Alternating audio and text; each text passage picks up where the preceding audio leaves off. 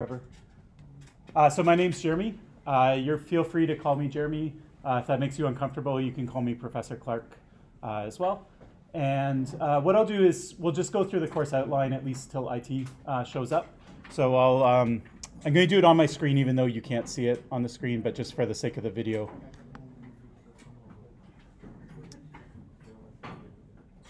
Okay, so the first thing you should do is Google my name, Jeremy Clark uh, J E R E M Y C L A R K. And hopefully I'll be one of the top results. Uh, just look for Concordia. Uh, if you click on my website, uh, you'll see that there's a tab at the top called Courses. Uh, click on that. Anyone need more time? Or are you all good? Put your hand up if you need more time. Okay. Uh, and uh, the very first course uh, listed on that uh, website is, is this course. Uh, so you can click on that and you'll see the uh, course website. one thing before we go to the course website for this year is there's course websites from previous years. so if you want to get a sense of what the material is that will get covered, uh, if you want to look at what the assignments will probably be a little bit different, uh, but if you want to basically like look ahead in the course or, or, try and get an overview of what the course is going to look like, uh, you can you can take a look at uh, last year. So uh, technically, I guess you'd have to go back two years. Uh, last year was on Moodle because it was an online during the pandemic, and then um, if you go back to 2019, you'll see a, a, full website with all the lecture notes and, and everything. Okay, uh, so if you click on uh, the website itself, uh, you'll see, uh, well, first off, you know where we are right now. Uh, you all found it, so that's good. Uh, okay, office hours will have, office hours will be virtual. So they'll be on Thursdays at 1. I won't run them tomorrow. I assume that, that there's not a need to run them tomorrow. But if you do have concerns and you want to talk to me tomorrow, just shoot me an email uh, and then I'll, uh, I'll set up a time for you. Otherwise, we'll start uh, next Thursday. Uh, the way it will work, I haven't done it this way exactly on Zoom, but I'm told that it works, is there hopefully will be just one link and it will always be the same link, so you don't have to worry about it. So just Thursdays around one, you can click on it, and then it will drop you in like a waiting room on Zoom, and then I'll just talk to you basically in order. I'm hoping and preserve some order of like who showed up first. Uh, so it's kind of like waiting in the hall, so it's a little annoying, I know. Uh, but, but anyways, if, if you wait, uh, I'll talk to you one-on-one, and then when I'm done with one student, I'll uh, kick them out and then invite someone else in. Um, so that's how that will work. Uh, okay, I'm going to now click on the course outline. Uh, so if you have a device and you want to follow along, if, if you don't have a device, don't worry, I'm recording this. I'll put this lecture on YouTube. One thing I should note, because I am recording this, uh, I assume that you're okay asking me a question and it will be recorded. Uh, if there's any issue with that and you want me to turn off the microphone or something like that, uh, uh you can do that. We usually have a break about halfway through the class, and I, a lot of you will come up and ask me questions. I'll be sort of sitting here, and uh, at that, I'll edit that out. So I'm going to keep it recording just because it's easier. Uh, but when I put it on YouTube, I'll edit that like inner break, that breakout. So anything you ask me won't be heard by everyone on YouTube. Um, also, I'm sitting down. You'll know that's because I have a microphone here, and if I wander around it, the audio will be poor. And um, the notes will be handwritten as well. So there's not going to be slides. I'm going to write the notes out. You're free to follow along. You can make a copy yourself. Uh, I'll also post a copy of the notes, and you'll have the YouTube video as well of, of me writing them out as well. So uh, all of that will be made available on the website on a lecture by lecture basis. Usually takes me a day or two. Uh, so if it's not up by Friday, uh, then you can bug me about it. But please, like, if it's like Wednesday night at midnight, don't don't ask like, where the lecture is. It, it takes a bit. I have to edit it, and uh, there's a few uh, components. Okay. Um, okay, so the course is obviously on security evaluation methodologies. Uh, that's something that we'll talk about uh, ourselves, and so so we'll um, we'll cover that uh, in the second half of, of this lecture. Uh, there's no textbook uh, that's required. Uh, so the, the exams and the assignments uh, will all be based only on the notes itself.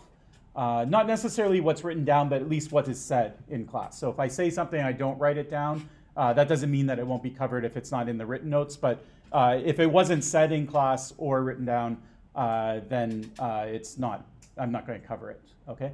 Uh, I did put up some textbooks that you might find interesting. Uh, so some of the material for the lecture I drew from those textbooks. in a lot of cases, I took like an entire book and just boiled it down to one or two lectures. so it's, it's not required reading uh, that, that you would read like an entire textbook just to cover one lecture itself. But if you are struggling with the course, uh, maybe you don't have the background for it, or you want additional reading, or maybe you're really interested in it, you want to do a project on it or something like that, uh, then those resources are, are there for you. And I try to pick free ones when available, but, but not all of them are free. Uh, if they're not free, they're not in the bookstore either. You'd have to get them off of Amazon or something like that. Okay, the uh, grading structure uh, for the course will be as follows. So the final exam will be worth 50% of your mark. Uh, there will be no midterm. Uh, the, the project will be worth 30% of your mark, and there will be two assignments. So about a third of the way through the course, you'll get one assignment. About two thirds of the way, you'll get a second assignment. And then at the end of the course, you'll have your final and you'll have your course project. Uh, so the assignments are worth 10% each or 20% total. Um, the final exam, I'm going to do something a little different. Uh, so usually I schedule it through Concordia. Uh, the problem with that is a lot of people want to travel, especially in the fall term, uh, because there's a, a large break uh, over Christmas and New Year's. Uh, and so and you can't book any tickets until they tell you when your exams are, and, and, you can't get them changed for any reason. So just to sidestep all of that, we'll actually do the uh, exam in class. So it'll be the very last class of the lecture. Instead of having a lecture, we'll have the final exam. And then your project can be due after that. So you can hand it in. Um, your IT? Yeah. Yeah, thanks. Uh, I don't know if you want to look at this. Uh, okay, after that long interlude, does anyone remember what I was saying last? I don't, I don't myself. Uh, um, just the first uh, bullet point of the course description. Okay, thanks. All right. Uh, okay, the final exam, I, will say a few words about. Uh, so, so anyways, we'll have it in class. Project will be due after. I penciled in December 5 as, as the date for the final project. I'm actually not that picky. Uh, so if you need more time or something like that, the main thing to, to realize is that uh, I can't give you your mark until the projects, all the projects come in, and then I need some days to, to read them. And keep in mind that if they're all like 10 pages each, then uh, you know it could add up to like a 400 page book really quickly. Um, so, so uh, yes. I'll, uh, I'll say a few words about the project uh, anyways, because, because we can't really do a, a proper lecture anyways, I'll, I'll, fill the time with that. Um, okay, so the next thing in the course outline is uh, academic integrity. Uh, so if you've been at Concordia before, you, you probably know all of this, uh, but if you're new here, um, so there's a couple things that you're not allowed to do. They should be pretty obvious, but I'll, I'll go through them. Some of them are not so obvious. Uh, so the main thing is obviously you can't cheat on an exam. Uh, so that would consist of looking at somebody beside you. Uh, I'm going to do what I can, like having different copy versions of the same exam and things like that to, to try and um, prevent that. I'll, I'll, randomize where you sit uh, during the final exam, uh, so you can't people aren't sitting with their friends and things like that. Um, the second thing is that people will go to the bathroom and look at their phone. Uh, so to mitigate that, I will allow you to bring one sheet of paper and you can write whatever you want on it. So a cheat sheet. So presumably whatever you would be looking up in the bathroom, hopefully is on your sheet, sheet anyway, and uh, you don't have to do that. Um, I, I also will say that, that I try to write questions on the exam that are very conceptual. So it's more like here's a situation, apply what you learn. So it's not the kind of thing you can look up anyway. You can't Google the answer. Uh, you have to like think and apply the concepts of the course to like a new scenario. So that's that's what I shoot for, uh, anyways. Okay, uh, okay, and then the other uh, component, uh, which is a little more subtle, uh, has to do with class projects. so class projects, you're going to do some research. You're going to be looking at other people's papers. Uh, you're going to look at Wikipedia, whatever, and uh, you need to somehow integrate that into your report. But the academic, uh, the the um, form of uh, cheating is called plagiarism, uh, which is the idea that you would present those ideas as if they're your own, uh, even though they aren't, right? So in general, what you're going to do is you're going to use references. So you're going to cite uh, your material where you got it from. If you read academic papers, uh, it's very common that you would see like sentence citation, sentence citation. Like you can't cite too much. Okay, so don't feel like you you just gotta like you looked at one report, so you're gonna drop that citation once in your document. It's sort of like if you're getting this idea of this paragraph from this document, then make sure you cite it in that paragraph, right? And similarly. The other thing is you can write in a very conversational style. So you don't have to write in a formal style. You can say, you know, Clark et al. looked at this problem and they came up with these five things, right? And then it's clear from the sentence that you're telling me what they thought, okay? Uh, so, so you can say that in the actual report itself. So the, the way that you write, you can write in the fact that you got this idea from, from other places, right? Or you can literally say like, I, I'm going to show you this framework and you know, I, it, I took it from here, but I tweaked it a bit or whatever the case is, okay? Um, another thing that, that uh, has been problems in the past uh, is sometimes students will copy and paste a paragraph in. They'll go through and they'll like change the wording, maybe the grammar a bit, but the idea is still the same. It's still literally the same idea. So plagiarism doesn't just apply to like you explicitly take that text. Like obviously you don't want to copy and paste that exact text and pass it off as your own, right? But if you take the text and just do surface level modifications to it, uh, that's still a form of plagiarism okay? So what you need to do is you need to process the idea and then tell me in your own words what the idea is, uh, as opposed to, to, to, trying to repeat uh, the idea from somewhere else.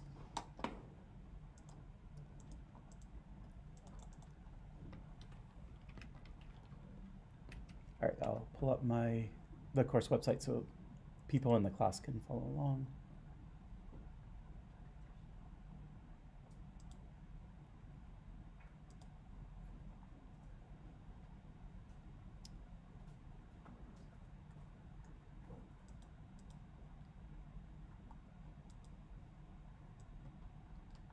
Okay, so anyways, there's a bunch of examples uh, about it. Uh, it is taken very seriously at Concordia. Uh, if you, uh, if there's an issue, uh, then the first time it goes to like this tribunal, and uh, I sit on the tribunal sometimes, or, or, the dean will will assign a punishment. But the second time, the recommendation is expulsion. Um, so second offenses are, are, treated very very seriously as well. So you don't want to to uh, have this on your academic record. Um, okay, uh, as I mentioned, these uh, lectures are being recorded, so this requirement that you attend every class is, is not actually true. Uh, you can uh, certainly um, catch up on classes uh, later. there's a bunch of lists of, of different services that might be useful to you depending on, on your circumstances. So there's things from the library and resources like that. Um, if you are registered with the Center for Disabilities, uh, you can go through that process. It will alert me, uh, and then we can make any accommodations that you need for your final exam or for your projects or for your assignments and things like that. So that's a very smooth process that you don't have to come directly to me. You can just go to the office, uh, and then they'll uh, they'll set it up, and uh, I'll follow whatever whatever they say. Um, yeah, and then there's some other things uh, for mental health, safety, uh, those kinds of things. Uh, so you can take a look at those. Okay, any questions so far? No? Okay. Um, so these are the uh, textbooks um, here uh, that that uh, will be covered, or sorry, that, that that some of the material will be drawn from. you just have a repeat of the actual breakdown. Uh, none of these links are live, so if you click on things it's not working, it's because it's, it's not there yet. Um, so assignment one and assignment two, I'm not sure about. The first assignment will be due October 13th. Uh, you will submit it uh, through EAS. I'll say more about this when I release the assignment, um, but you can just put it in the back of your mind that uh, in engineering there is a system called EAS and it's for electronic submission. So you'll submit a PDF. Uh, there won't be any uh, paper copies or anything for any of these deliverables. So your projects and your assignments will all be uh, submitted online. And uh, EAS does require you to register in advance. And you should be able to just log in uh, using your credentials uh, that you have for, for ENCS or engineering or Gina Um, but uh, if you're not in Gina Cody, like if you're in another department or maybe you're at a different university taking this course, uh, then you're not necessarily going to be set up automatically. And so it's important that you uh, reach out uh, just through the support on IITS, the IT support, uh, and uh, um, and uh, just make sure that they create an account for you so that you can do the submission. Worst case scenario, if it doesn't work, just email it to me. Like it's it's not a big deal. But the TA does mark it from the system, and you get your report back through the system and everything. So it does need to go to that system eventually. Uh, but but if it's like if there's some technical issue and you can't submit it, you can just email it to me to kind of timestamp uh, that that you did it. Um, the other thing I do is I usually give uh, slip days uh, for your assignment. So there'll be a deadline and you'll have a total of uh, I forget how I structured it. Um, let me just look at last year's.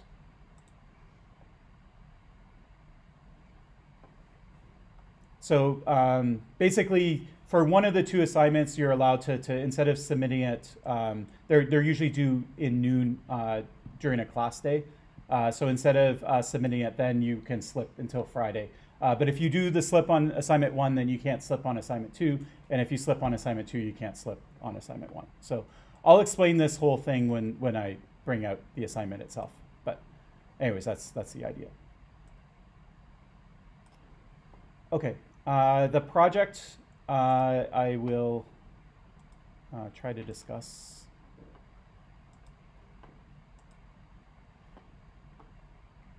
Okay, uh, so I did put the PDF up, but it I didn't set the permissions right or something like that. Um, so let me uh, pull the project description from last year's website, and uh, the dates will be wrong, but the description itself will be the same.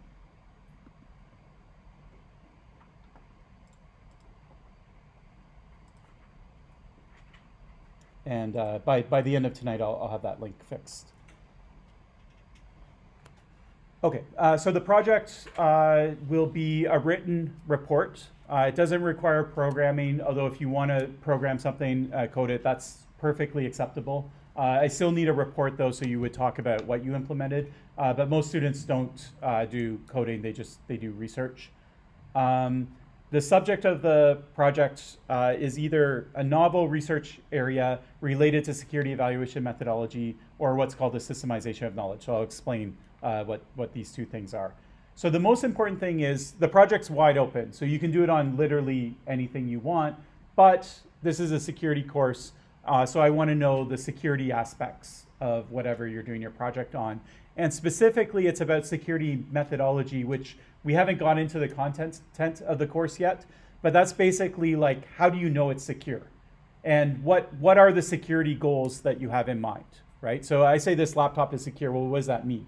That's very vague. Like, like exactly what does that mean? And how would I be able to assess whether it meets those goals or not meet those goals? Okay, so that's what methodology or evaluation is. So what I want is some aspect of not just security, but of actual evaluation. So thinking about why something is secure, what are the attacks against it, what are the defenses uh, uh, to those attacks, maybe a comparison between different approaches, uh, those, those kinds of things.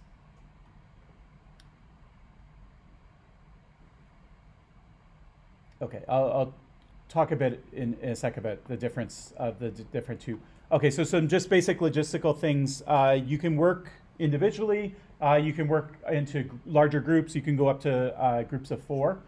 Uh, I will warn you that if you're four people, I expect something that's four times as good. Okay, uh, so I will that will be explicitly evaluated. Uh, and if it if you hand me something with four names on it and it looks like a single student could have done it, or it doesn't look any different than what single students did, then there will be a penalty. It's not like you'll get zero, but but you won't.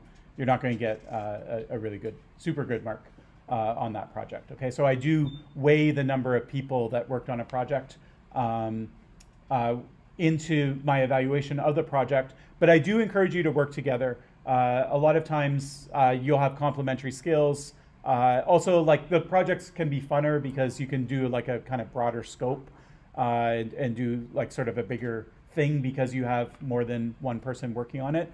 Uh, that said, if you're sitting here nervously because you want to do the project by yourself, maybe you don't know your colleagues yet, um, that's perfectly acceptable too. So I've seen really great projects uh, that are a single individual, and I've seen great projects that are a group of four.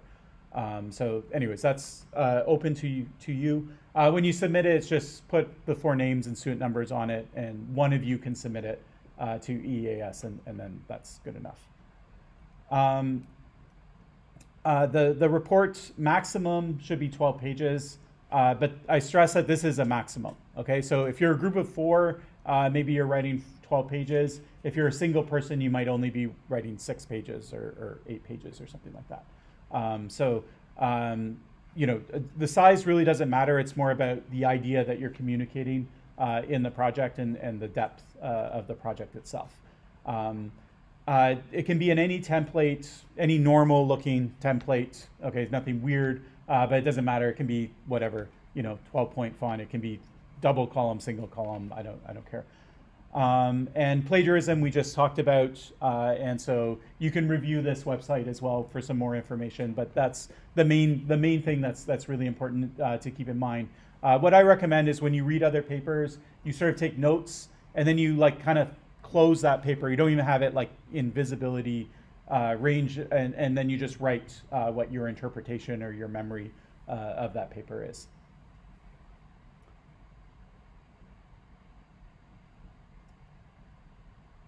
Okay, so here's some tips. Okay, so the first thing is uh, some people will take a topic, um, like I'll, I'll just pick a topic. Let's say you want to browse the internet anonymously. Okay, this is something we'll cover in the course. Uh, there's some tools that would let you do it. So Tor is one, and, and then there's others. Now, no one can do that project anymore because I'm using it as my examples. Um, okay, what I don't want is a survey. So what I I I don't mind the, the same methodology that you would use in writing a survey. I don't mind you telling me about what people are doing. But in a survey, it's very much like, okay, there's a system called Tor and it does this. And then there's a system called I2P and it does this. And then there's this other system and it does this, right? And then that's the end of the report, right? So it's kind of like three summaries and they're all stapled together, okay? What I want you to do instead is I want you to think about all of the solutions together and I want you to compare them and to contrast them. So I don't want just, you know, there was this paper and it said this, and then there was this paper that said this, right? I want you to say, okay, there's these two different ideas. Which one's better? And one of the recurring themes of this course is that if you ask the question, which is better in security, you, there's usually not never an answer. Okay, it's never the case that A is better than B. Okay, it's always the case that there's trade-offs. A is more secure in these aspects, but B is more secure for these other aspects. Or A is more secure, but it takes twice as long to run, right? Or A is more secure, but you have to have a PhD in order to run the software because it's super complicated.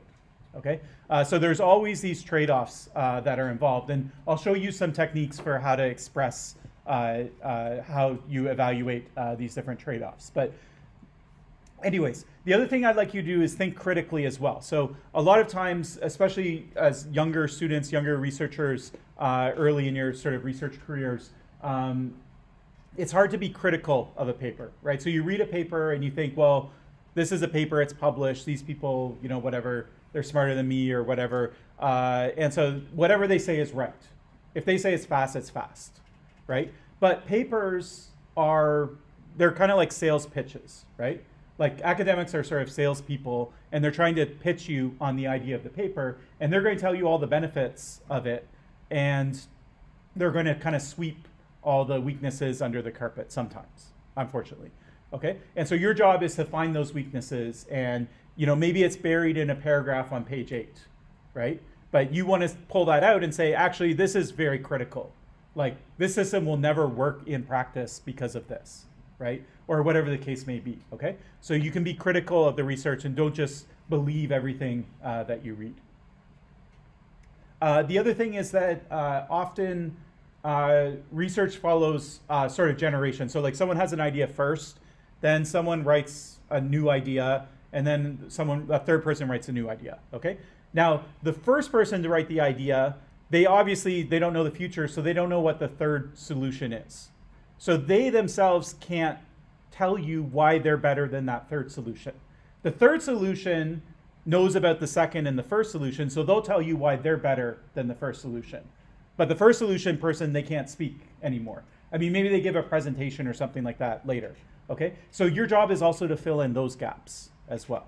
Okay, so when you look at two systems uh, and you compare them, uh, you have to think about what are the things that the first person would have said if they knew about what the second and third person were doing, uh, but they didn't just because of, of timing. Um, okay, so anyway, so this is sort of this idea of systemizing knowledge. So you compare it, you pull it together, you put it side by side, uh, you try and evaluate it consistently uh, across all of the different ideas. Okay, is that relatively clear? Any questions about that? Okay. Um, okay, what about topics? Um, so I students sometimes ask for a list of, of topics. I pasted actually a couple a little bit later, but but anyways, I'll, I'll show them to you in a second. Um, the good thing is uh, a good approach to do is this is supposed to be a research uh, project, and so you want to look at research papers. And research actually comes out of lots of different sources. So a lot of companies do research and they have really good blogs, uh, blog posts and things like that. And while I'm on that topic, um, you if you do a cutting edge uh, like kind of topic, a lot of your resources might be like blog posts and things like that, as opposed to like academic papers. Sometimes it takes you know a year or two for a good academic paper to come out on a topic. That's perfectly acceptable. Okay, uh, so you can cite uh, you can cite any. I like I write papers myself where I'm citing blog posts a lot. Okay, uh, the important thing though is that anyone can write a blog post. It's not peer reviewed, uh, and so you need to basically vet it and believe it, right? Like you have to tell me a reason why I should believe that that's the result. Okay. Sometimes it's written by like people at Google or Microsoft or something like that, and like they obviously have the credentials to talk to know what they're talking about. Sometimes it's just the content itself, right? The content speaks for itself. Um, so, uh, anyways, feel free to cite informal resources like that. Uh, you don't have to stick strictly to academic papers. Uh, another approach, another thing too is uh, if you look for academic papers, uh, one uh, really good resource is Google Scholar, which you've probably seen. Uh, the problem with Google Scholar is it finds all kinds of research papers. Like, just because something's published, it doesn't mean it's good. Okay, so there's a lot of conferences that uh, you basically can pay uh, to publish there, and there's there's and you can publish junk right? Sometimes people plagiarize another paper and they submit it and it gets published somewhere, okay? Uh, so these kinds of things happen. And Google Scholar is very, like, it finds everything, right? If it's on the internet, looks like a paper, it's going to scrape it and it's going to put it in the results, okay? So you're going to find all sorts of uh, low quality research mixed in with high quality research, okay? So that's one thing to keep in mind, uh, is that, that not all your results are going to be high quality. Uh, one thing you can look at, it's not perfect by any means, you can look at the number of citations. So if you see something that's cited 100 times, that's a good paper. Like, I don't care what anyone says, that's a good paper. Um, if you see it cited once, it doesn't mean it's a bad paper. Okay, it could be a paper that's only a year old, no one cited it, or maybe it's on a really narrow esoteric topic. But if it's on a, like a really general topic, and you would think that there would be a ton of citations and it's five years old and there's only two or something like that, that could be an indication that it's not high quality. Okay, so that's not a strict rule, uh, but it's just to get you thinking about uh, critically about the sources uh, that you use. Okay, uh, okay, back to topics. Um, so uh, instead of using Google Scholar, what you can also do is you can go to known venues of high quality research. So in the academic community, there's four conferences uh, that are, are the best for the big four conferences, so they're listed there. And they have lots of workshops, and there's tons of good conferences beside these four, okay? Uh, but these four would be a place to start. So what you could do is you could go to the proceedings of whatever, IEEE Symposium on Security and Privacy. You can look at 2021 or 2020. Just go through the titles, okay? Don't, you're not gonna read all the papers. There's, you know, over 100 papers. Uh, but just go through the titles and, and maybe you see something uh, that sparks your interest, right? Someone's looking at, I don't know, smart TVs and you're like, oh, that's really cool. Or they're looking at the security of automobiles or I don't know, whatever, Bitcoin, you know, whatever. Uh, so you could go there and it could spark an idea uh, uh, for a topic. Um, and then if you find a paper uh, that you're sort of interested in, then you can read the abstract, which is like a summary of the paper. And maybe you're reading five abstracts, not all of them. And then at the end of reading five, you find the one paper that you really like, uh, and then you read that paper. And then every paper also has a related work section in it. So usually, sometimes people are the very first people to work on a certain area, uh, but a lot of times they're the third or fourth. Uh, and so they're going to explain what other people have done up until then. So related work is good for two reasons. One is it can help find other papers, okay? Uh, so you can find other papers. Uh, the second reason is that you can read a summary of an existing paper, right? So another trick you can do with Google Scholar is, let's say you have a paper and you really like it. Uh, what you can do is you can see what paper cited it, right? And so it'll show you a list. It'll say, oh, this paper has been cited 20 times, and here's the 20 papers that cited it.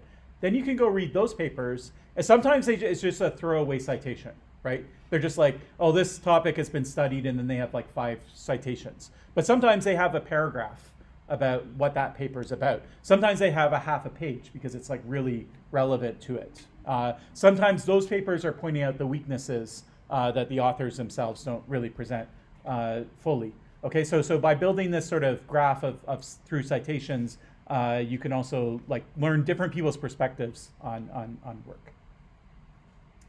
Uh, okay, uh, in terms of the logistics of the project, you don't have to tell me your topic. You don't have to clear it with me. Uh, you don't have to tell me your teams or anything like that. Okay, completely hands off. On December 5th or whatever it is, I expect a report in EAS, and that's it. Okay. That said, you can come and talk to me. So I am here to help. Uh, if you want ideas or if you want to bounce something off of me, uh, like in terms of ideas and things like that, you can ask me during the break, after class, uh, during office hours are all good times. Um, the other thing is uh, sometimes people want me to read drafts. I can't do that. Uh, if I promise to read drafts, then I'll end up reading drafts for everyone, and it's just too much time. So I'll put a like a time bucket of like two minutes and so if you want to show me something, I'll, you know, I'll start a two minute timer and I'll look at as much of it as I can for two minutes. And usually just by skimming the, the, the like section headers and things like that, I can get a good sense of, of, of what the paper's about. Um, so uh, anyway, so, so don't look to me to like, I'm not, you're, I'm not going to read a draft of your paper and then, and then give you feedback. Um, but I will help you like steer uh, the topic of the paper and things like that. Okay. Um, projects that are bad in past years, uh, they usually pick some topic. Uh, one one bad thing to do is they pick something that's way too broad, right? So like they talk about Android versus iPhone, and like you can't do justice to that topic in 12 pages, right? Like it's just not. There's too many variables. Okay, you can drill down, so you can talk about what are the permission capabilities of Android versus the permission capabilities of the iPhone, right? Or something like that. So you can find a really, really narrow topic and, and address it, but you're not going to do all of iPhone versus all of Android, okay? Uh, so when you start thinking of topics, one thing you want to do is try and narrow it down. And generally, the narrower the topic, the better the report is. Okay, so it's much better to do a really deep dive on one specific thing as opposed to like try and, you know, do a, a broad, uh, a broad study of, of a whole bunch of different things. Um, yeah, and then the other thing is that uh, is that sort of survey approach of just sort of like this person did this, and then this person did this, and then this person did this, and then maybe a paragraph at the end saying conclusions uh, from all of that. Okay, so I really want side by side comparison. I want you to take different results and and think about all of them across the board uh, in, in terms of of uh, what they're presenting. Um, one trick that works well, you don't have to do this, uh, but it, it's a good way to like start thinking about it. What's a good topic? Is phrase your topic title as a question, right? So, you know, like, um, well, in terms of Android permissions or something like that, it, it could be like, uh, uh, you know, which, which operating system, you know, iOS or Android leads to fewer dangerous errors made by users in doing permissions or something. That that's really weird and, and a long title. But but anyways, that, that's the idea of a question uh, that, that you could ask, right? Or uh, which anonymous browsing uh, tool has the best usability uh, for users? Or which one provides the, the strongest security guarantees? Or which one is resistant to quantum computing? I don't know. Um, but but anyway, so if you if you phrase it as a question, then it also becomes really easy because another problem is what do you talk about? right? So you have your topic, uh, what, what exactly is in scope for your project and what's out of scope for your project. And if it's a question, it's like, well, is this ha- helping to answer the question, right? Like, do I have to do a deep dive on this topic? And if it's not answering the question, then the answer is no, right? So it becomes it becomes a lot easier to figure out like like you only you only write what you need to answer the question, and that's it. Um, so anyway, so th- these are just tips. Uh, you don't have to follow them exactly, but uh, they might help. Um, okay, so if you go to like one conference, like say Usenix Security, uh, they do issue a call for papers, and they try their best to write down a bunch of topics that they would accept papers on. Okay, but the truth is they'll accept, and I will accept for my project anything that has to do with security, and probably the most interesting projects wouldn't fit this list. So this is more like these are kind of like hot research areas or research areas where they've seen uh, a lot of things. But if you really want to stare at a list of, of topics, uh, then you can take a look at this list and it will at least get you started on, on some of the different things uh, that you can look at.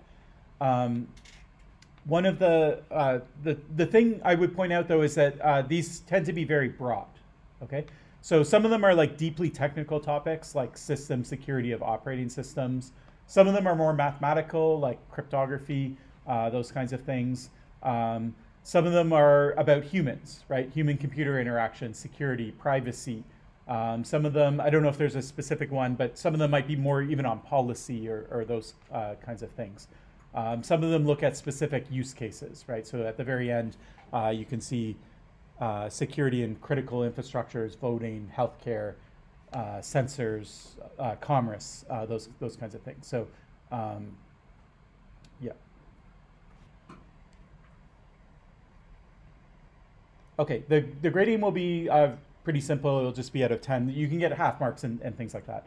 Um, uh, but basically, what I want is the first thing I'm looking at is scope.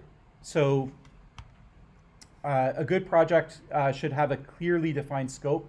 Uh, so what's on topic for the project and what's off topic. Okay, so you're not telling me a whole bunch of stuff that's not like really relevant to the actual central uh, theme of, of your project.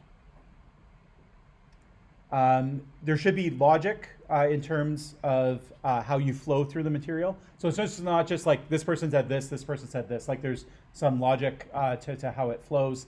Uh, it should be complete and comprehensive. Uh, so if you miss like an important thing, uh, then then there might be a deduction for that. Um, yeah, and and all the material that's that's presented, there should be a reason why it's there, right? It shouldn't just be there for the sake of, of, of being there. Um, and then I just repeat the idea that, that if you phrase it as a question, it, it sometimes helps. Uh, interpretation is sort of how you present uh, the material. So for me, it's like your students, so I'm evaluating you. And so it's like, did they actually understand it, right? Like I can tell from, or I try to tell from the writing, like, do they understand it? Are they just repeating things? You know, like they read that the five bullet points are this, and so they're telling me the five bullet points are this, but they don't really demonstrate an actual understanding of it.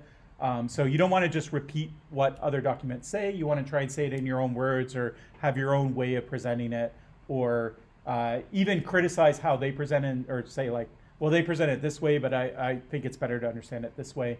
Uh, whatever you can do to make it clear to me uh, that you understand uh, what you're talking about.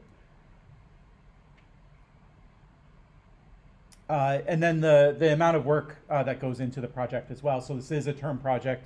You're supposed to, you know, you're not supposed to start writing this three days before, right? So you have your final exam and then it's due in three days and, and you start the day after the final exam. Uh, that you shouldn't be doing that. Everyone's nodding now, but the semester is going to get busy, right? Um, and, and at the end of the semester, you have three or four courses and they all have final projects and they all have final exams, right? Uh, so the amount of time uh, that you have at the very end uh, is hard. So I will say this: you'll nod in agreement. You should start early, uh, but it really is true. Uh, you should you should start uh, the project as early as you can.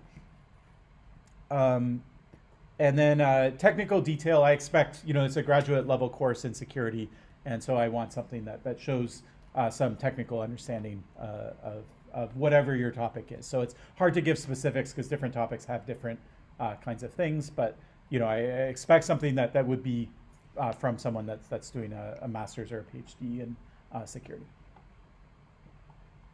Okay, uh, questions about the project? Or questions about anything?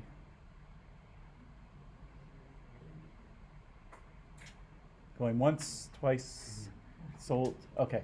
All right. Um, okay, so this is where I normally transition into the course itself. Uh, unfortunately, because the projector isn't working, don't get too excited. I'm not. I am going to do. I'm going to fill the time. Um, but uh, because the projector is not working, I'm not going to do what I normally do. So what I have in my mind is what I'm going to do is I'm actually going to pull up last year's notes, and instead of me writing out fresh notes, uh, we'll just look at them like as if they're slides. And it will kind of suck because the I, it, I try to make it interactive. So like what I write down is actually what you're telling me. So I'll try not to show you too much of the slides uh, at first. Uh, I'll try to tease you a bit, and, and we'll try to figure out what we would say, and then we can look at what the students in 2019 did and see who's better. Uh, but anyways, why don't we uh, take our break? It's a little early, but why don't we just chill for 10 minutes? Uh, you can get a drink or whatever, and uh, give me time to set this all up, and then come back and, and we'll uh, start the lecture. So as I mentioned, this course is called Security Evaluation Methodologies. And so what does that actually mean?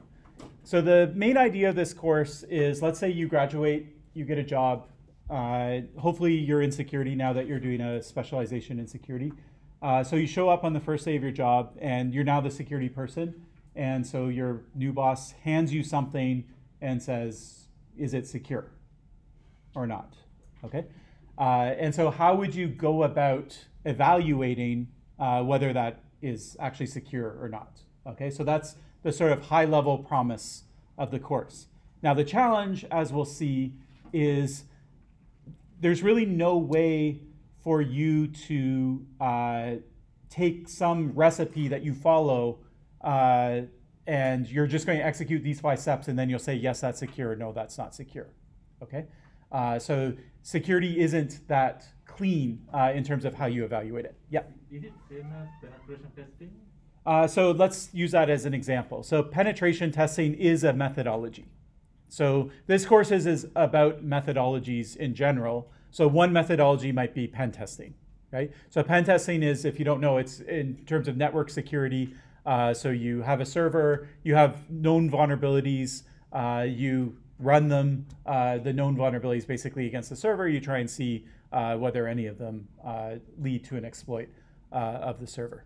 Yeah. But there is many guidelines like OWASP and frameworks like MITRE or something, so they can guide you at some, at some in some way to uh, conduct a evaluation of your, let's say, web application or your network security. So we can consider those as an option. Yes, yeah. follow. Okay, so the comment is that there there are existing methodologies. So like Web three or whatever will put out uh, different uh, um, uh, guidelines that uh, that you can use, and they have sort of checklists of things. Uh, they might have some automated tools uh, that let you uh, test uh, whether your software, like your website in this case, is, is vulnerable to certain known vulnerabilities, you know, cross-site scripting or whatever.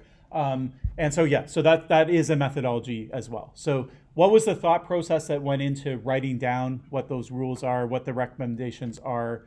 Um, that that's sort of the topic of this course. So, like, how how is it that they ended up with these lists of guidelines? Yeah. Okay. Now, one of the challenging aspects of security, and one of the reasons that that, that for example, these uh, recipes they work great if you have a website, right? But what if you don't have a website? What if you have a piece of hardware like a chip, right? Then what are you going to do? Right. So then maybe there is some methodology for hardware as well. Okay, but essentially you need for everything that you might think of what's the security of this thing, you need some methodology that matches it. Okay, and there's not going to be a general recipe that works for everything, right? So the same recipe that works for pen testing a server isn't going to work for looking at a hardware-based chip trying to decide whether it can be reverse engineered, for example.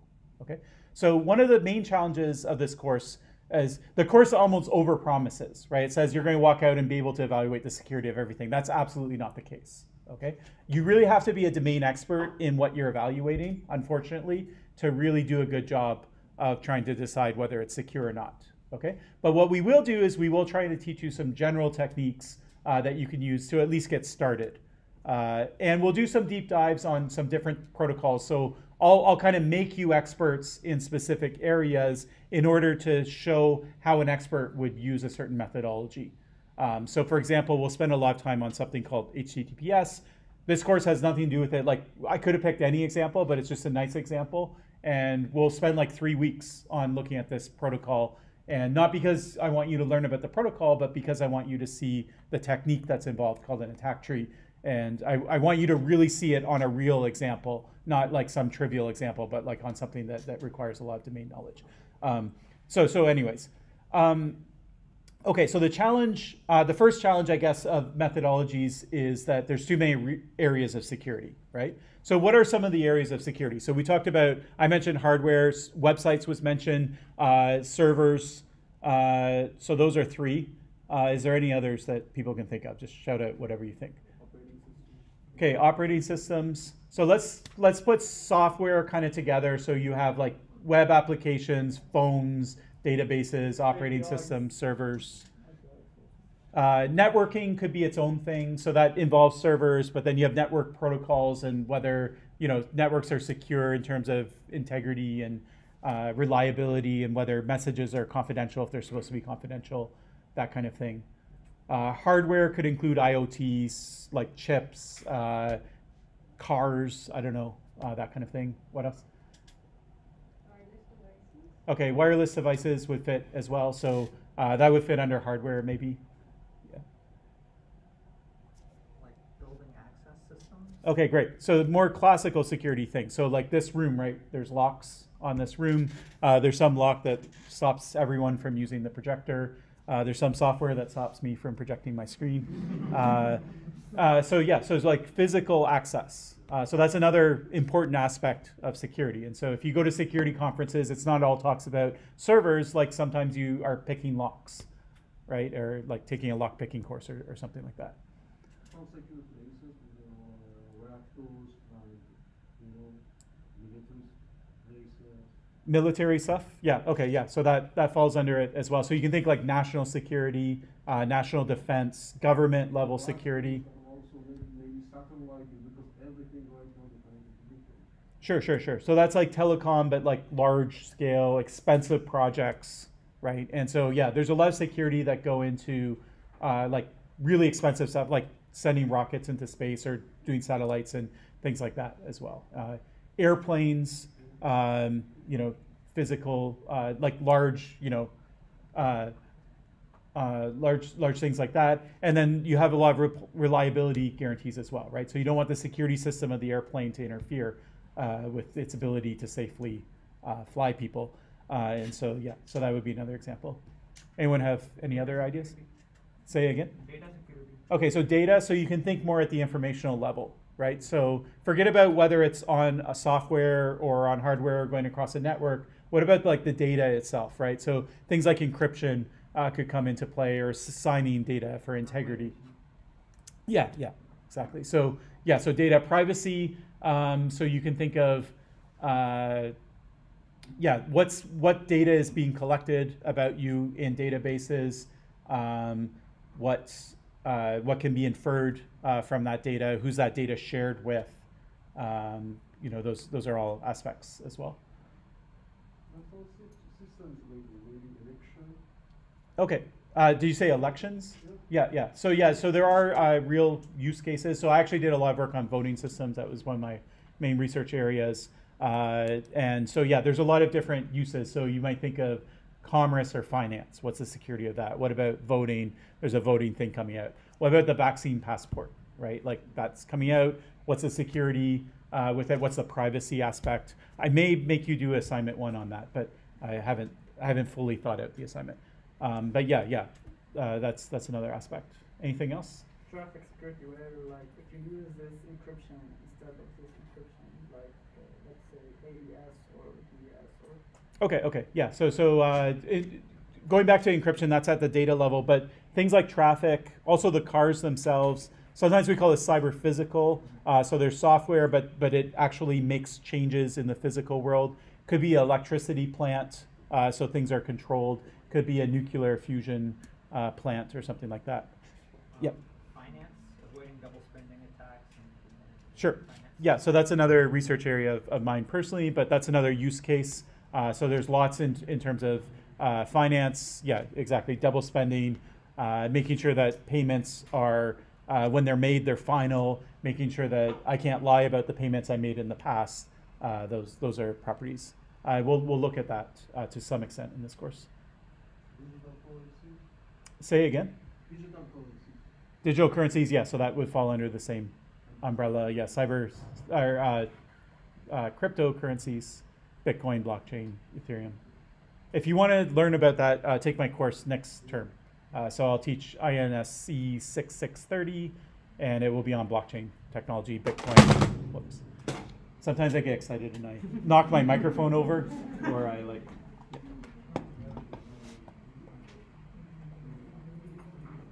Okay, so I've heard, actually, I've heard all of the things I have in the notes. I actually turned the screen off purposely so you wouldn't cheat.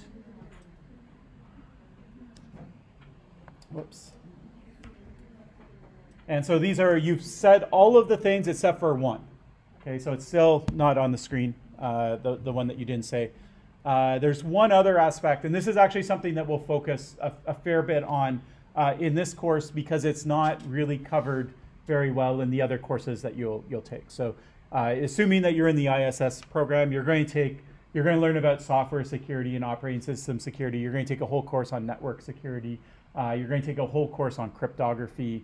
Uh, so there's a lot of aspects uh, that you're going to learn. Uh, but one thing uh, that's right now, it's actually probably the kind of hottest area or the most important area is say again. No, no. Anyone else? Social engineering. Okay, perfect. So people, right? Uh, so humans, right?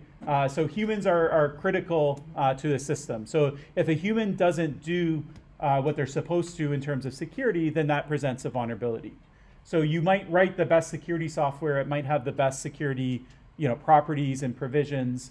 Uh, but if the human can't use it, right, uh, then then you're in trouble, right? Then then you you might as well not have that security software at all right? If, if the human user can't use it, uh, they make mistakes using it, they turn it off because it's annoying or because it slows them down, uh, then it's it's basically as good as not having not having that security at all. Uh, social engineering is another thing. So if you want access, say you want to break into a server room, you can do it digitally. You can try some sort of network attack, or you could just show up dressed in the uniform of an IT person and ask for access because you're there to repair the server and, and, and do whatever you want. Um, and so, yeah, so social engineering we'll spend a lot of time on. Not a lot, but, but it will be a focus. We'll spend like one or two lectures on it. And usability uh, and how you evaluate whether systems are usable or not uh, is another topic that we'll spend uh, one or two lectures on. Okay, so the uh, the the next thing is uh, here's a, a sort of a set of points for why this course is hard to teach. I guess you could say. Um, so the first thing is that evaluation itself is hard uh, because there's not a single methodology that's going to work for all of these things, right? So if your boss at your new job comes to you and says, "We have this procedure for like how employees can enter the building," right? And we want to make sure there aren't loopholes uh, in that procedure, right? You can't do pen testing to do that. Actually, pen testing is almost like close enough. It's kind of the same methodology, but you can't do cryptographic attacks, right? Or you're not going to do a crypto proof uh, that, that, that, that these procedures are done correctly, okay? Uh, yeah, and if you look at hardware, it's going to be different than software. And it's really in these like sort of softer areas like policies and people and procedures and things like that where security actually gets not well defined. So the almost the more technical it is, the better like the security principles are and the better evaluation methodologies we have. Um, but when you have these sort of softer areas of security, uh, that's where you start to see gaps uh, in terms of, of how well that uh, we can do. So I'm going to try and focus in this course on those sort of gap areas myself. Okay. Uh, the second point is that uh, you can't, if you don't know anything about digital currencies, you might know a lot about security. You've taken lots of courses and you've taken this course, and so you know about security evaluation methodologies, but you don't know anything about digital currencies.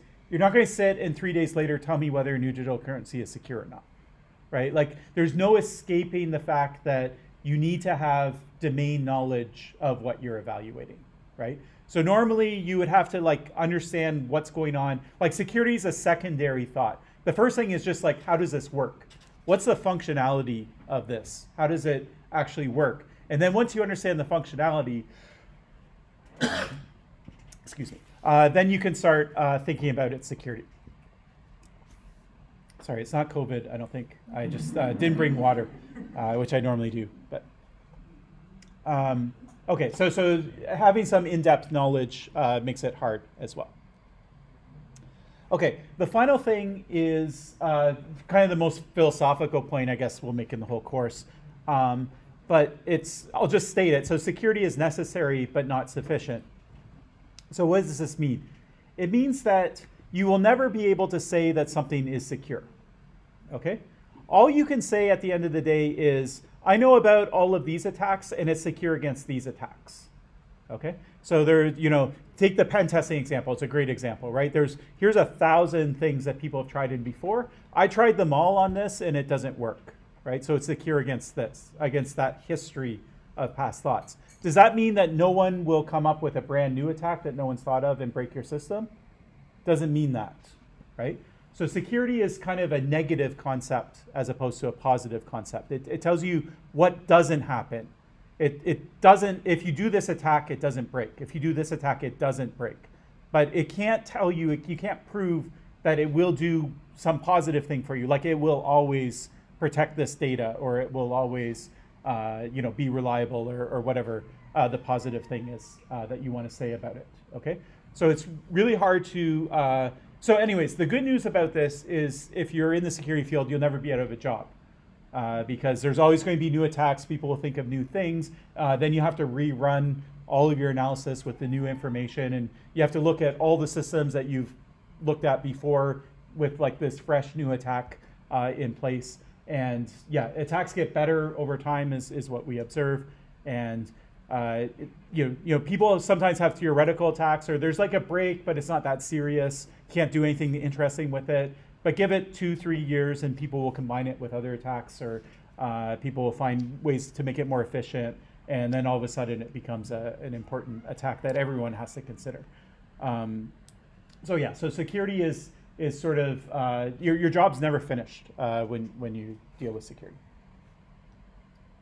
Okay, any questions so far on any of this or comments? This can be interactive too. Don't feel that you have to uh, only ask questions to, to clarify what you've heard.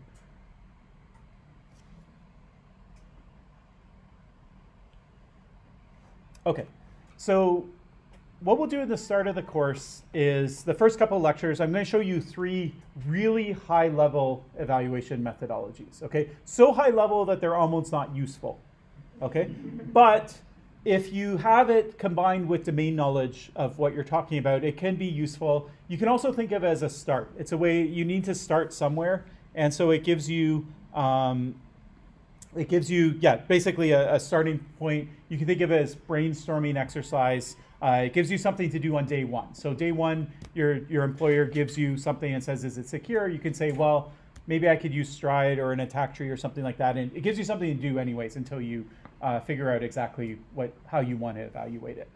Um, so the three really high level uh, methodologies, uh, the one's called STRIDE. STRIDE is a recipe. Uh, it basically says here's six things uh, that that are often considered when you consider uh, attacks against systems, they usually fall in one of six categories. Uh, so these are the six categories, and why don't you think about whether these categories apply uh, to whatever it is that you're looking at, okay?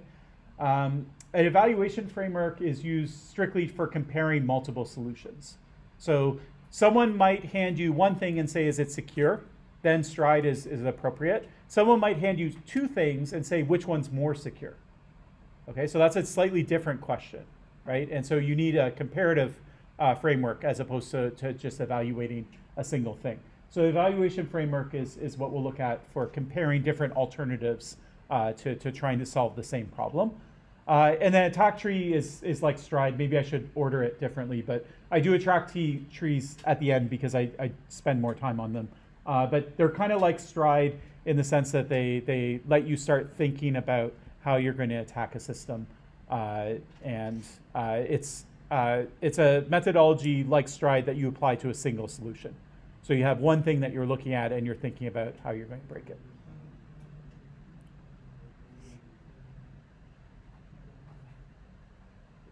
Okay, so STRIDE itself, like I say, it's it's uh, um, it's basically the six major categories that attacks fall into. Um, there was an earlier classification called CIA. You still see it in some security courses. CIA stands for confidentiality, integrity, and availability. Uh, and so Stride basically says uh, we'll keep those three. They're good, uh, but they're not good enough. We need another three. Uh, and so it introduces three on top of that, and it changes the the names of them confusingly, so so that they're no longer CIA. They're something else. You'll see in a second uh, what they are. But uh, those those three map onto three of the six Stride properties, and then there's three extras. Uh, Stride comes from Microsoft Research, uh, and so there's a textbook as well. It's one of the uh, recommended readings, but not something that you have to read uh, for this course. You just have to understand the material in the lecture itself. But if you looked at that, you would see that, oh yeah, there's like a 100-page textbook on just Stride. Uh, and, and, it covers attack trees and a few other things. It's, a, it's actually a really nice book. Um, but, but, but anyway, so this is like a serious uh, thing. It's not just something that someone came up with in the shower and then put on a blog post or something like that. Um, okay, so without further ado, uh, this is Stride itself. So we have uh, spoofing. Whoops.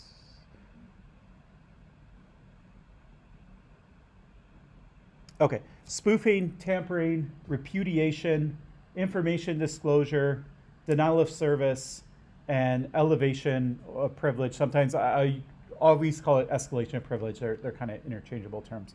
Um, okay, so let's go through these and, and try to understand uh, what each of them are. So the first thing that Stride does that's a little different than CIA is CIA tells you the positive property. So you want confidentiality, you want your messages to be secure. Stride is from the perspective of the attacker. So if confidentiality is the property you want, what's the attack? The attack is that you break confidentiality. So in this case, they call it information disclosure. So information disclosure is the attack, and then confidentiality is the property that's being breached. So these six ones are, are all phrased in terms of the attack itself. Uh, you can see that tampering corresponds to integrity in CIA. Uh, information disclosure uh, corresponds to confidentiality in CIA, and denial of service corresponds to availability. And then there's three spoofing, repudiation, and escalation of privilege that are not um, part of the original CIA. Okay, so let's uh, go through them one by one. So spoofing is um, impersonating something or someone else. Okay, so you say that you're somebody else. So think of the social engineering example. So you show up at a company, you're dressed like an IT worker, but you're not actually an IT worker and you want access to it. Okay, so that's a form of spoofing attack. Now, spoofing is easy to think in terms of humans, but it can also be in terms of uh, digital things as well, right? It could be a computer. I spoof your MAC address or I spoof your IP address. Uh, not I phrase that wrong. Like I would spoof my own uh, IP address. Uh, maybe uh, so. For example, in Concordia, if I want to plug into the networks, uh, every network port has a MAC address, and it only talks to that MAC, MAC address, right? So if I want to work on my laptop on this internet connection that's going into this computer that I'm sitting in front of, I would have to figure out the MAC address of this. Then I'm going to put it on my laptop, and then hopefully I'll get access uh, to the network. Otherwise, it won't work. Okay, so that's spoofing. Um, it could be a file, right? Uh, that's on your computer. So maybe I'm going and I'm looking up, maybe I'm, I'm the operating system of your computer. I'm looking at the permissions uh, for to, in order to do something. Okay, and then uh, you're somehow able to insert a fake file there that has fake permissions. And I believe it, I believe it's real.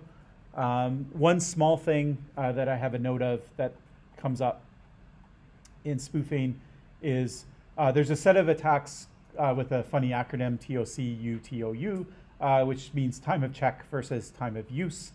Um, so time of check versus time of use is uh, is a general. It, anyways, it, it's it's one example of spoofing that comes up a lot. You see these kinds of vulnerabilities a lot, so I thought I'd just showcase it.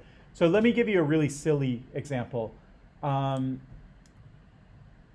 let's say that you uh, want to go to the bar and you're not over 18 in Quebec. Okay? But good news, you have a friend and, and they're over 18 or whatever. Okay? Uh, so what you do is you go up to the, it's a club, so there's a security guard. So you go up to the security guard. You have your friend show their ID. The security guard checks the ID. They look at the face of the person and they say, okay, they look at the birth date and the birth date matches. Okay? So they perform the check and then they go to hand back the ID, and somehow you're able to jump into the position where your friend is standing, and you take the ID back instead, and then the security guard says, "Okay, you go go into the club." Okay, now that sounds stupid. It's absurd because you couldn't jump into that position fast enough without the security guard noticing. Okay, but there was a difference here between uh, the time I checked, and then there was a bit of a gap, and then there was the time that I granted you access or permission to do what you were uh, supposed to do. So I was able to jump in and spoof at that moment. Now, while it sounds crazy in terms of humans doing this, in the digital world, that's there's no constraint there, right? So an operating system might do a check, and then uh, operating systems get interrupted all the time, right? So they go off and they do something else, and then when they come back, the thing that they checked has been completely replaced, uh, for example. Question? Is it same as delegating? Uh, delegating is slightly different. Um, so delegating would be uh, um, I have permission to do something, so I want to give you permission uh, to do it. And so delegation is an attack. This is an attack. Delegation is a property that you would want from systems, but then there are attacks that are associated uh, with delegation as well. So it's slightly different but related. Yeah. Email spoofing, uh, yeah, so, so that's another example of, of spoofing itself. So that's not really time of check versus time of use, but it is uh, going back to this, uh, an example of, of um, spoofing itself.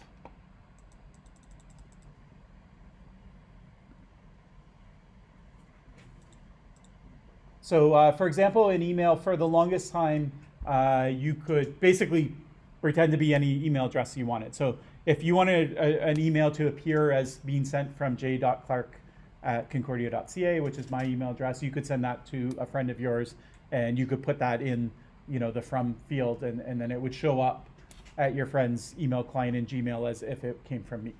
Okay. Uh, now there's better security uh, around that, and so there are certain protocols uh, that are in place that, that make that a lot harder uh, to do.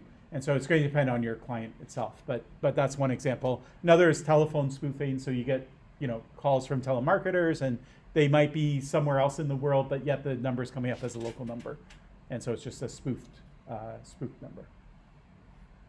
Okay, uh, tampering. Uh, so tampering is uh, where you actually go and you modify uh, something. So you change something. So something is supposed to be a certain way, and you're actually changing it itself. Um, so it could be data or code as the example that's given. So that's that's a very sort of easy example. So data would be like, say the email is going across the wire, and I change the message inside the email, right? Then it shows up at your email client, and it's been changed. Okay, so that would be an example of integrity. Sorry, of tampering. Integrity is the property uh, that, that's being violated. It could be software or something like that. Like say I install malware on your computer, uh, that, that would be an example of tampering. Uh, it could be something physical, right? You have a voting machine and it's not supposed to leak uh, how you voted, but somehow I'm able to tamper with it. And so when you vote for Alice, it records the vote for Bob.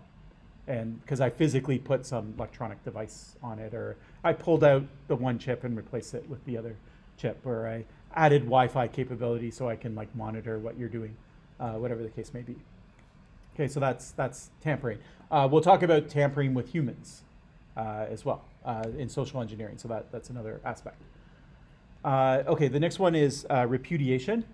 Uh, so the flip side of it is is non-repudiation. This one's kind of weird, but basically, repudiation says you deny having done something that you actually did do. Okay, so you go, you do something, you make a payment and you receive like I buy something off of Amazon and the thing comes, it's in my house, I have it, but yet I go call up Amazon support and say uh, I never received it, right? It got lost in the mail. Okay, uh, so that would be an example of repudiation. Uh, so I deny it, and in this case, Amazon would probably refund me if I do it once, but if I do it ten times, then they're not going to refund me anymore. uh, and they might start investigating me. Um, so yeah, I, it could be I didn't send that email, I, I didn't modify that file, whatever whatever the case may be. Um, okay, information disclosure is basically leaking information that should be private. So there's some information, and privacy is sort of a weird concept. Uh, one way to think about it is just in terms of access. So like, some people have access to the data and some people don't. Okay, so privacy is usually never like a, a fully binary thing where it's like, okay, that's something that like nobody knows, right? Like think of your medical records. It's like most people don't know about it, but your doctors or some people know about it. Some people are able to add to it, but they're not able to see like what your past history is. Uh, some people can see everything. Uh, sometimes you need to authorize it, uh, but if I'm unconscious, I can't authorize it, so I want it to be available, you know, even if I don't authorize it, right? And so there's different access control rules that you could write about data. Um, so information disclosure is a breach of confidentiality. Now, sometimes it's a little more like we'll talk later about cookies, for example, in the context of, of web security and how they're used for tracing. And so that's like something that's that's a little harder to kind of put your finger on, and, and it's more of a general privacy uh, consideration. And so uh, information disclosure, yeah, it can take different forms. Sometimes it's it's like you're reading something that you shouldn't read. It's very clear cut. But in other cases, it's sort of you know in terms of like a broader kind of concept like privacy. Uh, denial of service uh, is basically trying to stop someone from accessing something uh, that they have. Um, so you might, you know, the, the, the main example, I guess, is, is the denial of service that you think of in terms of internet servers. Uh, so you want to bring down a website. Uh, so you have you you start spamming it with as much traffic as you can. Uh, but the website probably has bigger pipes than you, and so you get all your friends to join in. Uh, so that's called distributed denial of service or DDoS attacks. And even now, that might not be enough. Maybe they're behind Cloudflare or something like that. Uh, there's another form uh, that you can do that's a little more advanced, which is kind of fun. I'll just I'll give you a taste of, of this. Like using IoT, Uh, slightly different. Oh, yeah, maybe. Yes, so it, it combines reflection. Uh, so it's called an amplification attack. So traditionally, with denial of service in the server case, uh, you would have a user, and the user would direct as much traffic as they can at the website, and hopefully the website stays up. Okay. Uh, the main thing to, to understand is that uh, if real users are accessing your website, you have no way of telling the difference, right? So you, you have to service everyone, even if it's just to throw the packet away because it's, it's not formed. But like if you uh, can't keep up with the incoming traffic, then you're denying your real users access to your server as well because you can't you can't tease them apart. Unless if there's some like telltale sign like all the bad traffic's coming from a certain geographic area then maybe there's something you can do uh, to do it. But anyways um, so originally that was denial of service then it was you get all your friends uh, to join in uh, and that's called distributed denial of service. Uh, the latest kinds of attacks we see is slightly different it's called amplification attacks. Uh, it, it involves uh, reflection. And this is kind of cool because it combines spoofing uh, as well as uh, denial of service. So the ultimate goal is denial of service, uh, but it uses spoofing uh, as a method in order to do it. And so the basic approach is um, there's some protocols on the internet that run over, most, most of the internet runs on TCP. Okay, so TCP is a network protocol that allows two parties to connect to each other. Uh, it, pro- it provides reliability. So if packets get dropped, uh, the receiver is going to notice it. There's some checks, and then they're going to ask for those uh, packets to be sent again, uh, and then those packets will be sent again. Uh, an alternative to TCP is called UDP. Uh, UDP is used for like say say you're on Zoom, okay? Maybe there's packets that are being dropped, but by the time you realize they're dropped and you ask for it again, like the the audio and the video has like moved on. So even if you get those packets but they're a second late, there's no way for you to like go back and put them in the right place, unless if you have like one second delay or like buffering or something like that.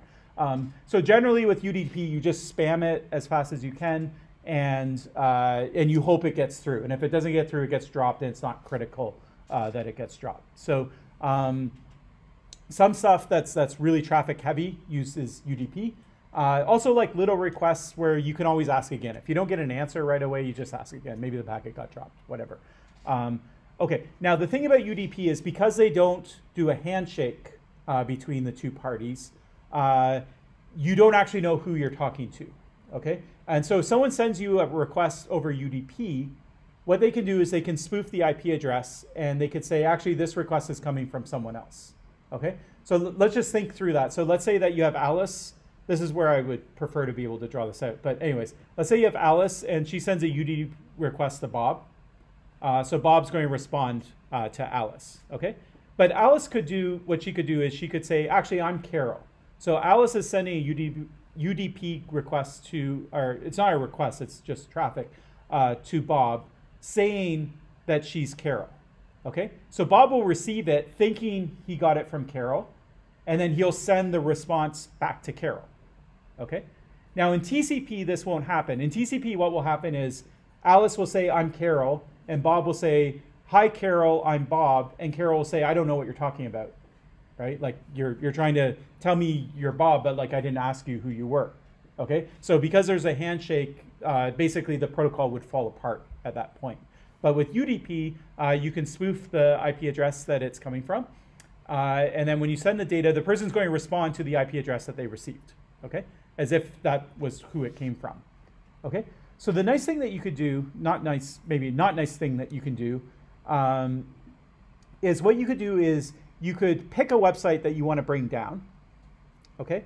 And you could find like some server on the internet uh, you might go looking like in the real backbone of the internet. So like one that like has been patched up for many years now, but was sort of the big example of, of these kinds of attacks, you know, maybe five years ago, uh, was something called NTP. So NTP is Network Time Protocol. Uh, it's basically uh, servers, you know, they want to know the timing of things because packets get dropped and they want to know like how long it's been and you know having to know like what time it is is, is important and because the internet's distributed a bunch, a bun- amongst a bunch of different computers, they all have different times. Okay. So what almost every server that was on the internet offered is they offered a server where service where you could come up to the server and just say what time is it, and they would say, okay, it's this is the time. Okay. Uh, and so the idea was that like if you want synchronized clocks or something like that, uh, then you would be able to do it. So almost all servers had this functionality uh, turned on. So you could go to any of these servers and, and ask uh, what time it is. Now you could also ask for other stuff too. So you could be like, what time is it? Like, who are the last, I don't know, 100 people who have connected to you? Uh, and there, there were different things that this protocol supported. And so this, uh, this uh, server would reply uh, with all the information. Okay. Now let's put two ideas together. Okay. The one idea is that you can spoof an IP address. So what I could do is say, I'm Alice. I could go to Bob and say, what time is it? But say I'm Carol, right? I'm, I'm really Alice, but I'm Carol. What time is it? Then Bob's going to send the time to Carol. Okay? So big deal.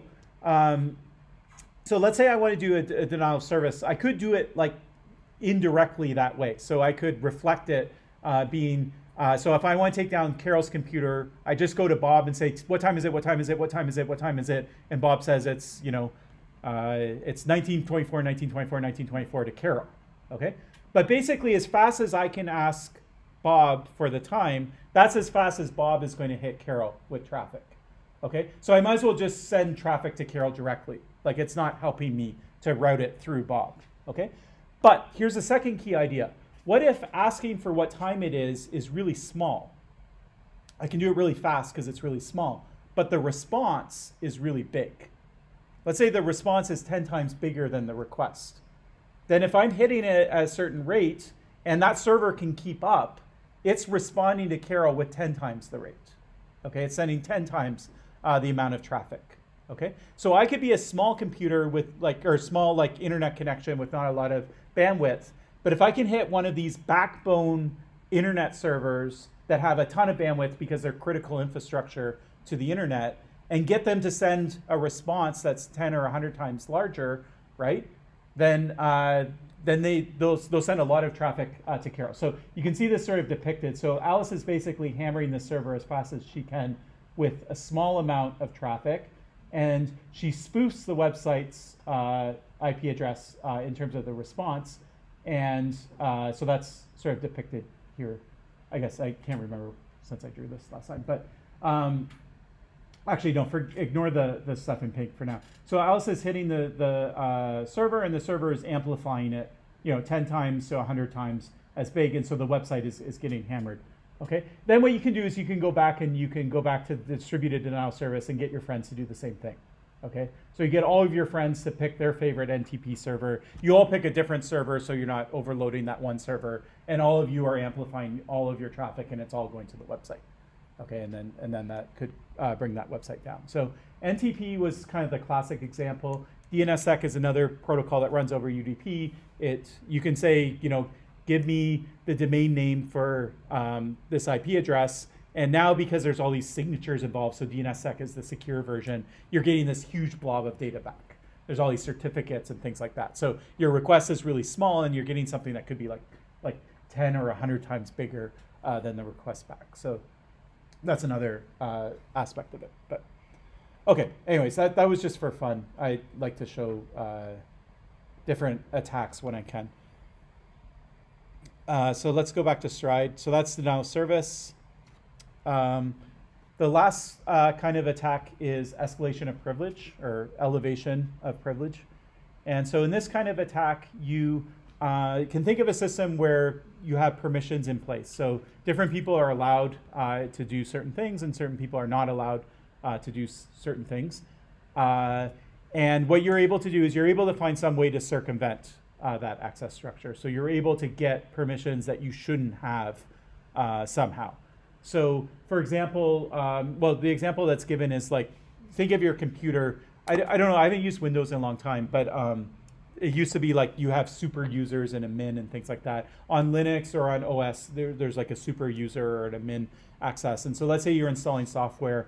Uh, you might be able to install it as a user, but you might need, if it's doing like deep changes to the uh, system, to the kernel, uh, then you have to give it permission. So you might have to type in your password or something like that. But operating systems are really big, they're complicated, there's lots of people asking, and there's different you know, ways of handling different requests. And, and so what happens is someone finds a way uh, where they can install software on your computer without the computer asking your permission to do it right? Maybe even from a website. So like you just go to a, a, website and all of a sudden you get a rootkit that's installed on your computer that you should have to, you know, download and it's going to like walk you through the installation and make you type in the password and stuff. But somehow it's just it's just happening. Okay, so that's a classic escalation of privilege. Uh, you might think of the uh, lock screen on your phone. Uh, so this now has gotten a lot of attention. But when iPhones first came out, like the first versions of iOS, there were all sorts of ways where you could bypass the lock screen. So you pick it up and you would, I don't know, turn the camera on and then press three buttons, or like you do some weird thing, uh, and then it would crash, and then it would kind of reboot without the lock screen, or like, or like the lock screen would just disable, or I don't know. You make an emergency call and then hang up, and then it would bump you back into like the unlocked phone as opposed to the locked phone. I don't remember the exact concrete examples, but um, that's an example of escalation of privilege. Okay, so the that vulnerability shouldn't be there, but yet somehow it is there. Uh, so escalation of privileges show up in uh, procedures, and so we'll spend some time uh, on procedures. I'll show you one attack, for example, in, in terms of airport security. So let's say you're on a no-fly list, you're not allowed to fly. Uh, that's a permission that you don't have. But what if I told you there was a way with like a certain combination of showing different IDs to different people uh, where you could fly even though you're on the no-fly list?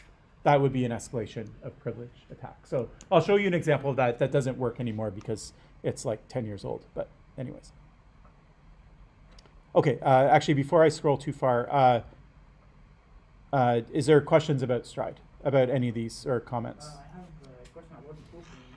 Yeah. I saw an example talking about DLL.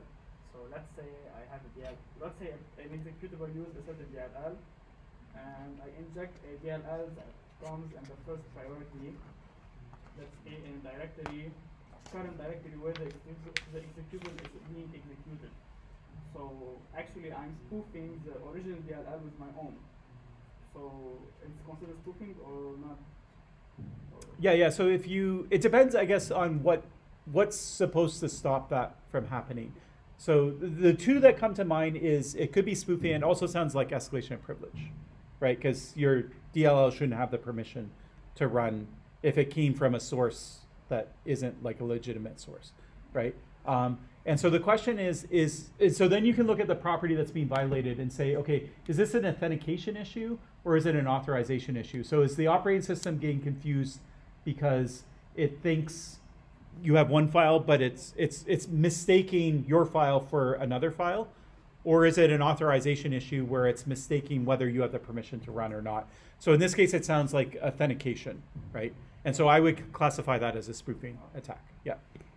Um, so th- these classifications aren't always perfect.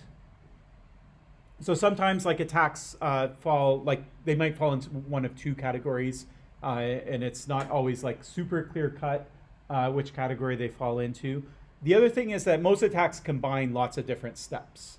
Okay, and so uh, one thing I will promise you is there will be an exam question on the final exam that says blah blah blah happen. Is that S T R I D or E?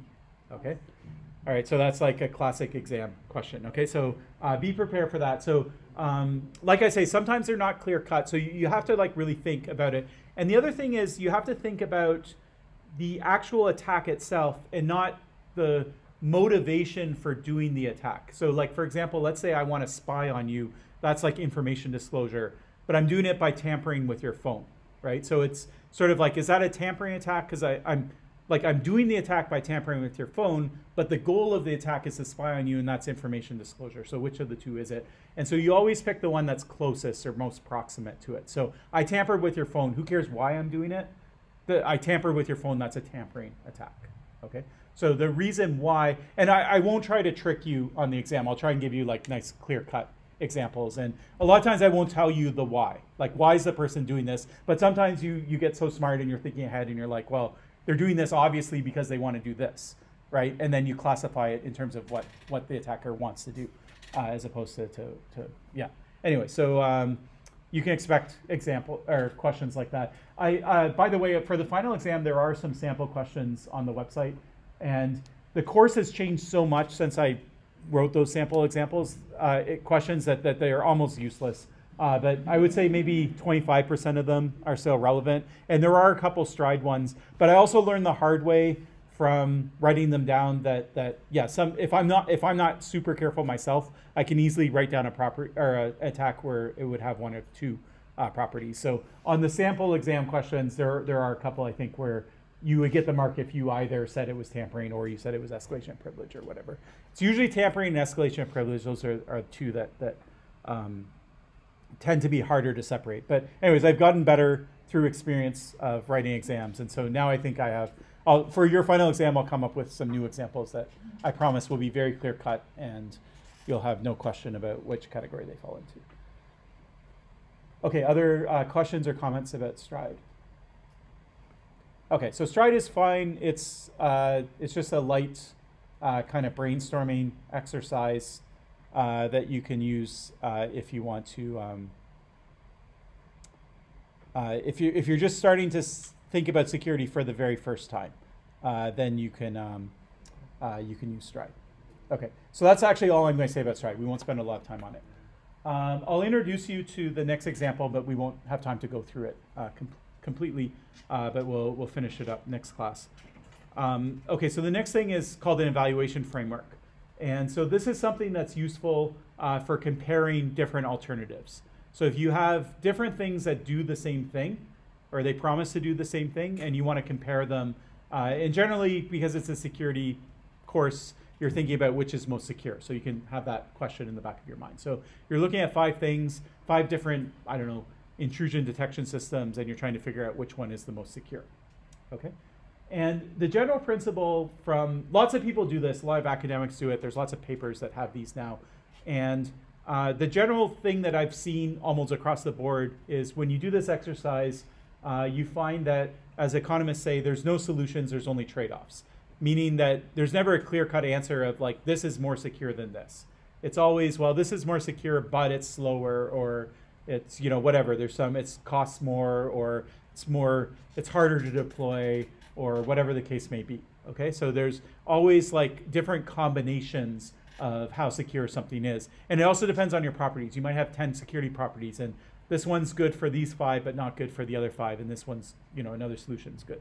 So I'll show you an example of that uh, in, in, a second. Um, evaluation framework looks really simple when you're done. Okay, so sometimes in your assignments, I'll make you do one. I haven't decided this year if I'll, I'll make you do one, but uh, it looks really simple. Um, but I promise you, it's actually a lot. It's really hard to to actually do to get it into a nice clean solution. But anyways, what it looks like at the end is basically a simple chart. Okay, so a chart will have a bunch of rows, and the rows will be the different alternatives that you're comparing, and then you'll have a bunch of columns, and the columns will say like it's secure in this aspect, it's secure in this aspect, it's secure in this aspect, and then you know for each of the rows you're going to like get a grade or what I like to do, and I'll argue is, is, is a really simple approach is just like say whether it has the property or not. Does it satisfy the property or not? So you might we'll use dots. So for example, we'll give it a dot if it if it uh, satisfies it, and there'll be an empty dot if it doesn't. And sometimes you're really nitpicky and you're like, well, it kind of half solves it, but doesn't fully solve it. So then you can throw a half dot at it. Okay, but you can do a lot with just no dot, half dot, full dot. Okay, so you don't have to do like really detailed analysis.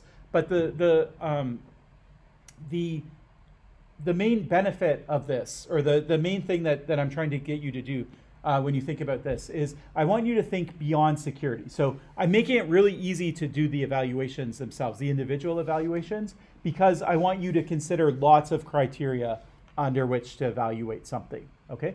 And I don't want you to just look at security. So security, as we say, it often trades off with other things. Sometimes security trades off with security.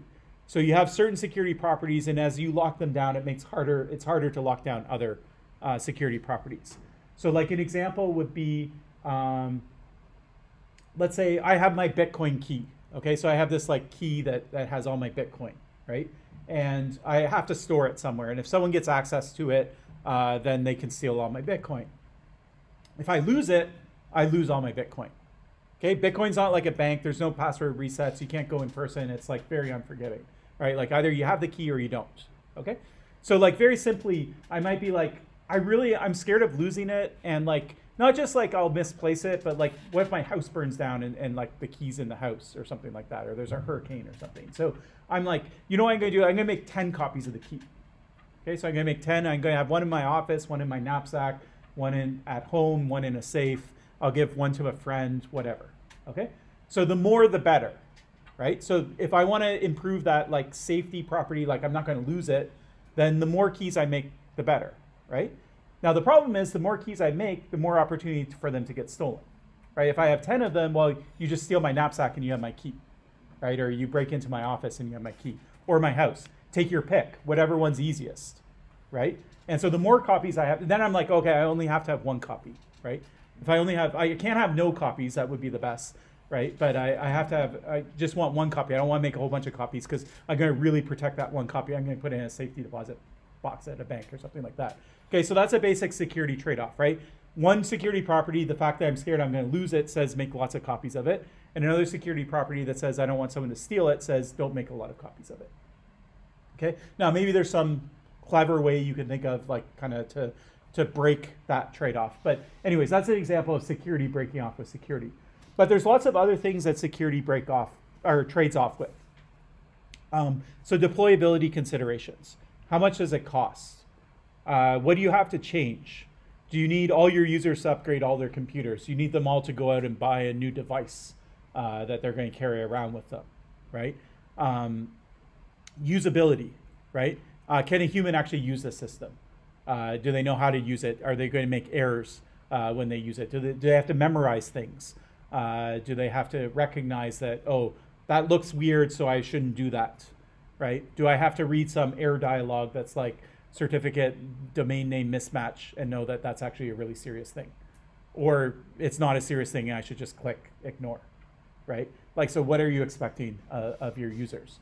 And so what an evaluation framework does is you don't have to strictly break it along these three lines, but it's pretty useful. It, it, it I've seen it deployed in lots of different contexts for studying lots of different, the security of lots of different things. Uh, where basically you have a security, sometimes you have a privacy, uh, depending if, if you consider those separate or, or, together. But you have some sort of security criterias, uh, you have some usability uh, criterias, and then you have your deployability uh, criterias. Okay, uh, so you can do more than that, uh, but but those three tend to be quite sufficient. Okay, so when you're done, it would look kind of like this. Uh, so you would have just a little chart. The rows would be your three alternatives, and then you have some properties, uh, and then basically it would say whether it has that property or not. it's not any different than if you're I don't know, say you're buying a car and and you know you go to your favorite dealership and then they give you a chart like this and they're like okay here's our car here's the competitors here's like three competitors and then they they're like okay this one has like six speed but this other one's five speed or whatever. So you know the the actual deliverable is not remarkable right? It's, it's actually very simple to look at. It's easy to consume. Uh, but the hard work comes into choosing those properties correctly making sure that you get all of them so you're comprehensive um, and uh, finding your alternatives making sure they're truly alternatives uh, things like that. Uh, so these are, are um, the kinds of things that, that, that get tricky. So a few tips before I show you a concrete example is uh, the properties, we always try to phrase them positively, meaning that you want to satisfy that property. So let's say that you're, I don't know, you have an intrusion detection system and it's not vulnerable to some attack, right? Uh, you could say, like if you made a table like this, you might be like, okay, is it it's vulnerable to this attack? It's vulnerable to attack A. Okay. In that case, you wouldn't want the dots, right? You don't want your system uh, to be vulnerable to attack A. So then some of your properties, it's like you want the dot, and some of the properties you don't want the dot because of the way that they're phrased. And then it's really hard if I just look at it and I'm like, like right now, if I like alternative one looks good, right? It gets the most dots, right? Really simple, right? Uh, but, but if some of those are properties I don't want, then maybe getting a dot is a bad thing. Okay, so what you have to do is when you write your properties, you have to phrase them. It's just an English thing where you have to like kind of reverse the phrasing sometimes. But you're going to phrase them positively so that you it's always phrased in terms of the dot is what you want.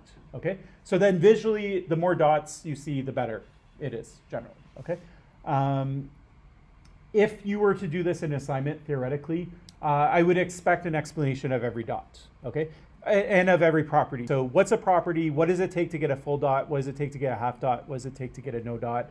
And then for alternative three, why did you give it a full dot instead of a half dot? Okay.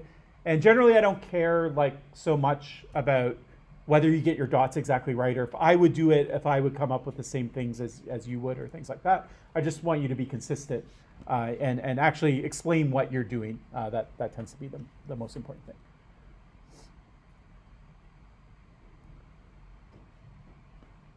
Okay. Um,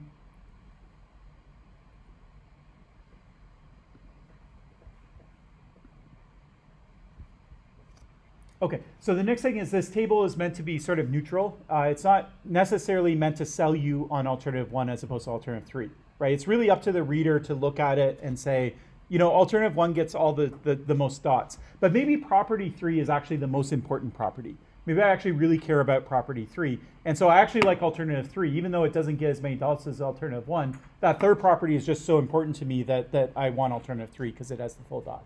Okay, so your, your job isn't to sell someone on uh, which alternative they should choose. It's really to just say, okay, here's all the alternatives and here's the properties, and it's very neutral. It's just like do with it whatever you want. Okay, we're just uh, I'm just telling you this. Okay, um, the the kind of approach that you don't have to follow, but but usually works pretty nice is yeah. If you give it a full dot, it achieves the property. Uh, if you doesn't achieve the property, you don't give it a dot, and then you can have some half dot, or I have a kind of empty circle as a, a half dot, uh, which basically says that it does achieve the property, kind of, but there's some caveats or there's some you know sort of half achieves it or whatever and those ones you have to be really careful you have to really spell out like okay what what does it mean to get a half dot um, so yeah. Okay, so we're going to do uh, an example of this. Actually, we're, we're not going to, we're going to do it, and then we're also going to look at a paper that did it much better than we're going to do in class. Okay, uh, so you'll see what we'll brainstorm our own uh, our own evaluation framework, so you can sort of get the feeling for how it goes. Then I'll show you what an academic paper evaluation framework would look like uh, in like a top tier uh, venue, and you'll you'll see that it's much more detailed uh, but, but you'll get the uh, kind of um, you'll get the gist of it uh, from what we do in class. Okay, uh, so what we're going to do is we're going to look at uh, passwords uh, as our example, and specifically what we're going to do is we're going to look at so this is meant to evaluate lots of different alternatives. Okay. So now uh, we have different alternatives to passwords. So passwords isn't the only way. Think about a website, right? The website wants you to log in. Uh, you can create a password. You can remember your password. Uh, ideally, with a password, you know the security advice from the 1980s and 1990s is every single website you have a different password. You know, it's a long, complicated password, and you remember it, and you never write it down. And so you have, you know, for all the 200 sites or a thousand sites that you have, Uh, uh, you have passwords for. You have a unique password for all of them, right? That was the old mental model, and maybe it worked in the internet where you would only log into five different sites, okay? But nowadays that just doesn't work, okay? And so people have said, oh, we have a solution to this. Okay, we're going to get rid of that password problem where I memorize every password that I have. Okay, so what are some examples? You should you should know lots of these. So what are some examples of, of what you might do instead of instead of just saying create a new password for my website? OTP, Okay, OTP. So tell me what that is. uh, one-time password. So suppose I'm logging to a website, so I just enter my email address or mobile number, and I get a password on my mobile phone. So every time I log in, the password changes. Okay, good. Yeah, so uh, I'm going to call that slightly. So OTP is a slightly different thing, but uh, what you describe is called two-factor authentication usually. Um, so uh, often it's and what what problem is it trying to solve? The problem it's trying to solve is just because you someone's showing up and they have your password, but do I actually believe it's you? Right? And so from a security perspective, if I can have more evidence that it's you, that would be great. And so two factor is well, um, in general, there's factors like what something you know, something you are, something you have, right? And so if I can ask about something you have in addition to something you know, then I can be more confident that it's you. So I know you have a phone and you have a phone number, and so I'm going to uh, generally I'm still going to ask for your password, but in addition I'm going to send a text code a code to you know over SMS to your phone, uh, and then you're going to tell me that, and then now I know you know your password and I know you have your phone, so I'm more confident that's you. So that's one where uh, the goal is really to increase the security. So two factor increases security over a normal password. Does it make anything worse? Is it strictly better?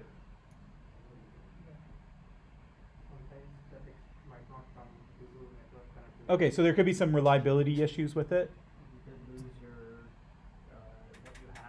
Okay, so you could lose your phone, so you might get locked out of your account. Does everyone have a phone? I mean, everyone in the room here probably has a phone, but does everyone in the world have a phone? Everyone who's on the internet? Not necessarily. Uh, is it? Does it take? It's shorter to log in if you uh, have to do this two-factor authentication. If you have to log into 100 sites, would you rather do it with just a normal password, or would you rather do it with two-factor authentication? Okay, so there's some usability trade-off uh, in terms of there. Okay, so these are the kinds of questions that we'll ask. Okay, uh, OAuth. Okay, so explain it. so OAuth is where you have a, um, a service that authenticates you, uh, and then the service, uh, vouches that you are who you are, who you say you are, like you. No OpenID Connect. Okay, okay, yeah. So OAuth, OpenID, these are open standards for that type of thing. I'll call it single sign-on. Uh, so that's that's a term that, that covers OAuth. Uh, so the more, um, yeah. So the example you might think of is like Facebook or Twitter. So like I go to, I download an app. It wants me to create an account. Instead of me creating a new username and password for this thing, I'll just log in through Facebook, and then somehow Facebook will uh, authenticate this app within Facebook, and then uh, and then if I'm able to demonstrate that I can log into my Facebook account, then it will uh, it will consider me to be me uh, in terms of logging in the into the site. So Apple, Google, you know, uh, lots of different uh, people, Twitter, uh, uh, provide that uh, kind of single sign. And then there's OAuth and like ones that are built on open standards and things like that uh, as well as alternatives. Yeah, so that's that's another thing that, that people use. Password managers. Okay, password managers. Uh, so what's the what's the story with a password manager? I guess it's a software where it stores all the password with that is a related website or application that it uses. Okay. So, yeah. Okay, good. So uh, yeah, so password managers. Um, uh, so it's going to store the passwords for you, so you don't have to remember them. So that's it's solving a usability problem for you. Um, is it better in terms of security? No, maybe someone may access. Okay, so if I get access to your password manager, then I have all your passwords, Yeah. right? Uh, so so that could be a, a, a breach. So um, so there's a trade-off uh, in terms of, of that, but it's more convenient. Uh, password managers also do some fun things like first off, they'll generate passwords for you, so they're secure and they're random and long and uh, hard to brute force.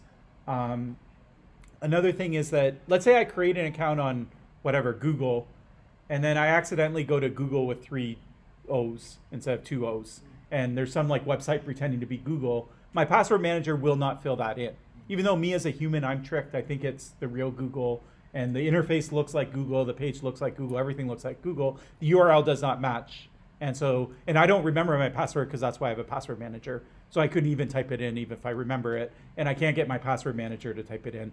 And so maybe that saves me. Maybe I manually like unlock it in my password manager and then copy and paste it. But but anyways, it, it could save me in that case. So yeah, things like that. Another thing, actually, just to go back to single sign-on. Uh, so single sign-on sounds great, right? Instead of having one password, or sorry, instead of having a thousand passwords, you have one password, right? Uh, once again, there's a concentration. So if I'm able to break your Google account, then I can get access to all of your websites. Is there any other things that you can think of where single sign-on would be worse uh, than just having passwords? So there's those are the benefits. That's why it's better. So there's that concentration of of your data in one place. So there's a single point of failure. So that's one main reason against it. Can anyone think of another reason against it? Uh, privacy, if you don't want site B to know you have an account with site A, then you can't use site A to log into site B. Absolutely, yeah, yeah. So privacy is the other big one. So uh, it's it's not just that Facebook knows that you have an account, but every single time you log into that account, Facebook knows it. So they know when you're logging in. Uh, yeah, like they know that you're active uh, and all of that. So so it, it's like very rich data uh, for for them, and that's why that's why you see Google and Apple and Facebook offer these services because it's not free right? They have to put up servers. Their servers have to connect to other things. Those things might be super popular. It might be a lot of bandwidth. Okay, it's not free for for Google to do that. Uh, so why are they doing that? Well, they're they're making money somewhere, right? And so they're they're building a digital dossier of the kinds of apps that you want to use, and also frequency, time of use, uh, and those kinds of things. And that's that's valuable information to them. Yeah. Say I remember something in the uh, bank, something we have like token, Okay. and also biometric like uh, pattern. Perfect. Also scan, face scan, something like this. Okay, okay, yeah, yeah. So both of those are, are good things. So uh, first thing, hardware tokens. Uh, so you might have some like physical kind of thing. Uh, in some cases, your primary authentication. So you just you have the like I have a card, an RFID card, right, and it lets me into the wing of my office. Uh, and so if I have the if you take the card from me, it's in my pocket. Uh, you can take it. You can go into my office. Uh, so that's that's it. Um, Sometimes it's combined with uh, two-factor authentication. So like one common, uh, commonly used token is uh, called an RSA token. Uh, and so this is like something that shows you, it's the same thing like when you get a message, a text message with a random number, but now it's a hardware device that's on your keychain. And so you push a button, it gives you a number, and then when you log in, you log in with your password, and you put that number in as well. Uh, and then that serves as something you have in addition to something you know. And then there's so there's something you know that would be like a password. Maybe it's a master password for a password manager or it's just you know all you, the thousand passwords that you've memorized. Uh, there's something you have like a phone or a token. And then the third category is something you are. And so that's where biometrics comes in. So uh, it could be a fingerprint uh, it could be an iris scan um, those are, are the two most common ones And also security question, sometimes I see some banks here, they have security question. Okay. Yeah, yeah, sure. Yeah, so uh, biometrics, uh, just generally before we go into a deep dive on it, like, wh- are they better or worse than passwords? Okay, so like, why why are they better? They are better in certain regards. What's why are they better? You can't lose your fingerprint. Okay, so they- they're harder to lose. Now, can you lose your fingerprint? And then what happens?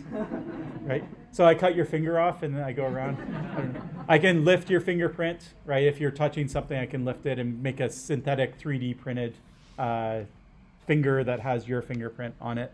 Um, so, so yeah. But anyways, that, that was the thinking. They're very convenient, right? You just like my computer has a fingerprint reader. It's a lot easier than typing a password in. Uh, my phone has facial recognition. It's a lot. Actually, I wouldn't say it's easier, especially now with COVID and we're all wearing masks. It's, it's you're always putting your password in anyways. Um, but yeah, yeah. So so there is usability improvements, uh, definitely. Uh, is it more secure? So maybe, maybe not. So I'm going to argue that it's actually easier. It depends on how you're generating your passwords, but I'll argue that generally passwords have more entropy, which is the sort of critical uh, component uh, than biometrics do. At least biometrics. The problem with biometrics is you can pull a lot of data off a fingerprint, but then it's also very sensitive to like any changes. Like the more data that you pull, like the the more precise you are about the fingerprint, you're expecting that level of precision the next time and the next time in a year from now, right? So if you have a sort of fuzzy matching to the fingerprint, then it's very robust. It's unlikely to change. It's unlikely that the same person's going to come back five years later and their fingerprint will look different because you're not looking very precisely at every like nook and cranny of the fingerprint. On the other hand, you can you can make it very precise, but then you know you could get just a scratch on your skin or you know the the surface of your skin changes. I don't know. There's there's lots of different ways where little things that could change, and then it's very sensitive to it, right? Uh, it's very picky. So that's another sort of security with security trade-off. Um, there's almost like a, a, legal thing too with that, where in, it depending on legal jurisdiction, but um, having something that you know, you cannot always be forced to compel to give it to the, the like if you're arrested or whatever because it's self-incrimination and usually there's laws against that in most places in, in the free world. Um, but on the other hand, a lot of places don't consider uh, like a, a fingerprint or a facial ID as something that the police can't take from you. So if you have a fingerprint, they can put your finger on the phone and unlock it. But if you have a password, they can't make you give them your password. Right, right. Okay, yeah. So that's a really nice example of. Um, so that's something that's like so nuanced that even in the academic paper, I don't think they had a good category that captured that. Uh, but that's certainly an aspect as well, and that's what I want you to think of as these really long tail examples of, of things. Like so, in this case, it's a privacy consideration, basically of whether you can compel it. It's also just like mechanically, can you compel it? Like if I'm police, I can take your fingerprint, but I can't force you to say it. Maybe I can torture you or something, but um, I can't just directly like pull it out of your brain. Uh, yeah, so coercion resistance uh, would be what I would call that property, and, and so yeah, different ones could have different properties along that line. Um, okay, any any other uh, kinds of passwords that you've seen? Say again. Yeah, okay, perfect. So we call these graphical passwords. So instead of remembering a string of alphanumerical characters and special characters, you remember something visual, right? So the, the main thing is the, the swipe pa- pattern on Android. Um, there, there have been lots of experiments where people will like show you pictures. Like when you set your password, they'll show you like two pictures and you'll pick one. And then they'll show you another two pictures and you'll pick one of the two. And then you do that like with 10 pictures, right? And then when you log in, they show you two pictures and you have to pick the exact same pictures.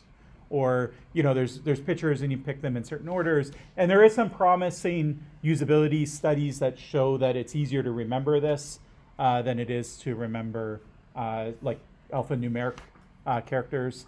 And so, uh, yeah, so that was sort of a hot research area. It didn't really kind of take off, uh, with the exception of, uh, I guess, the Android uh, unlock pattern. That's like probably the only graphical password. Sometimes it's used, I've seen it in, um, it's used more as an anti phishing thing. So after you log in, they show you a picture that you set ahead of time. And if you don't see that picture, then you're supposed to say, oh, this might not be the real website. Although, of course, at that point, it's kind of too late. You already gave the password uh, to it. But, um, anyways, I've seen it more in that context. But yeah, I haven't seen like a true graphic password used in a while. But, but anyways, that's that's an interesting thing. So um, usability may be improved. Uh, there's some some studies, scientific studies that, that seem to suggest it. Uh, it's pretty fast.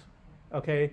Uh, what are the drawbacks? Uh, first off, it's a physical action. So if you're not capable of doing that physical action, um, probably if you could type a password in, uh, then you could also do the swipe pattern. If you, like, say you had a disability uh, or something like that that prevented you, um, you could maybe speak uh, it in or, or something like that, or use assistive technology.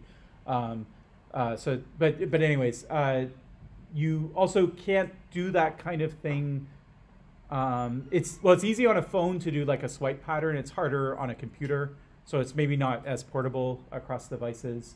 Um, there's also weird attacks like smudge attacks, where like I pick up your phone and I see like a certain smudge mark because you've unlocked it 10 times in the last hour and you haven't wiped your phone. And so I can infer. And if I throw machine learning or something at the, at the pattern, I can, there are like papers that show that you can very easily determine what someone's password is. So anyways, yeah, there's uh, different uh, considerations, but graphical passwords is one that we'll consider. Uh, anything else that anyone can think of? Ultrasonic fingerprinting. S- sorry, Ultrasonic fingerprinting. address only? Ultrasonic, yeah. Ultrasound. Ult- okay, sorry, but biometric. oh, it's a biometric. Okay, okay. I don't know about that, but yeah, okay. So we'll put that under biometrics as well. There's also a implicit authentication, which is sort of like how you type. Like, say you're typing, and uh, like the way I type is slightly different than the way you type, and uh, the way I hold the phone and things like that, or like when I swipe it, I sort of rotate the phone in certain areas. So that sometimes is used. Usually, it's not used as a strict authentication, but it might be like say I've authenticated to the phone and it's unlocked, but now the phone is deciding when it should go back to sleep. And so as long as I'm continuing to use it and it my like biometrics match my sort of history, it's less likely to put it to sleep and ask for a password again. But if the biometrics go really weird, then it will just say, okay, you need to log in again, kind of thing. Um, so so that yeah, there are some solutions along those lines. the trust device option? Uh, yeah, I've heard that term as like a marketing term, but what does it actually mean? like like you log into an application or something and and it gives you an option to like trust this device for like 10 days of period. Oh, I see, I see. Yeah, yeah, yeah. Okay, so that's not uh, an alternative to passwords. It's it's an extension of passwords, I guess. So it is um, it's stopping you from putting your password in so much, but at the same time, you still the password is the primary authentication mechanism.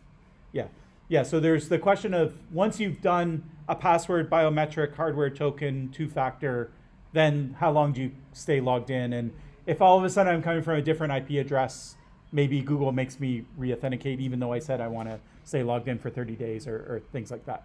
Um, so yeah, so th- those are all important decisions, and you could do an evaluation framework of all those alternatives as well, but they're not strict alternatives to passwords themselves. Anything else?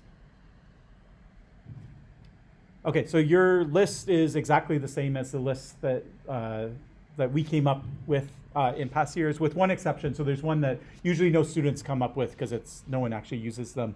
Um, but uh, I'll throw it into the mix as well. Uh, sometimes you have actually I, I gave a good example with the Bitcoin keys.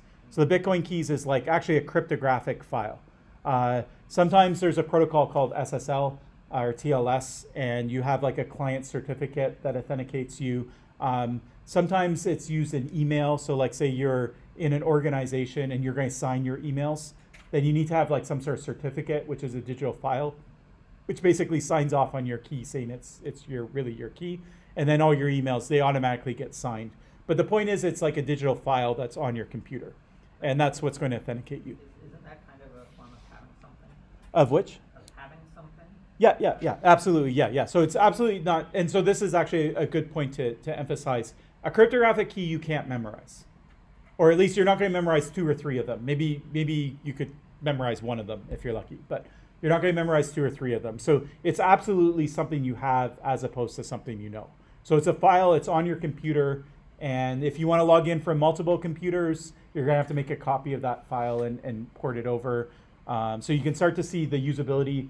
The usability pros is that you don't have to do anything. You just go to the website and you're automatically logged in because your certificate's sitting in your browser and the browser went and grabbed it and that's it.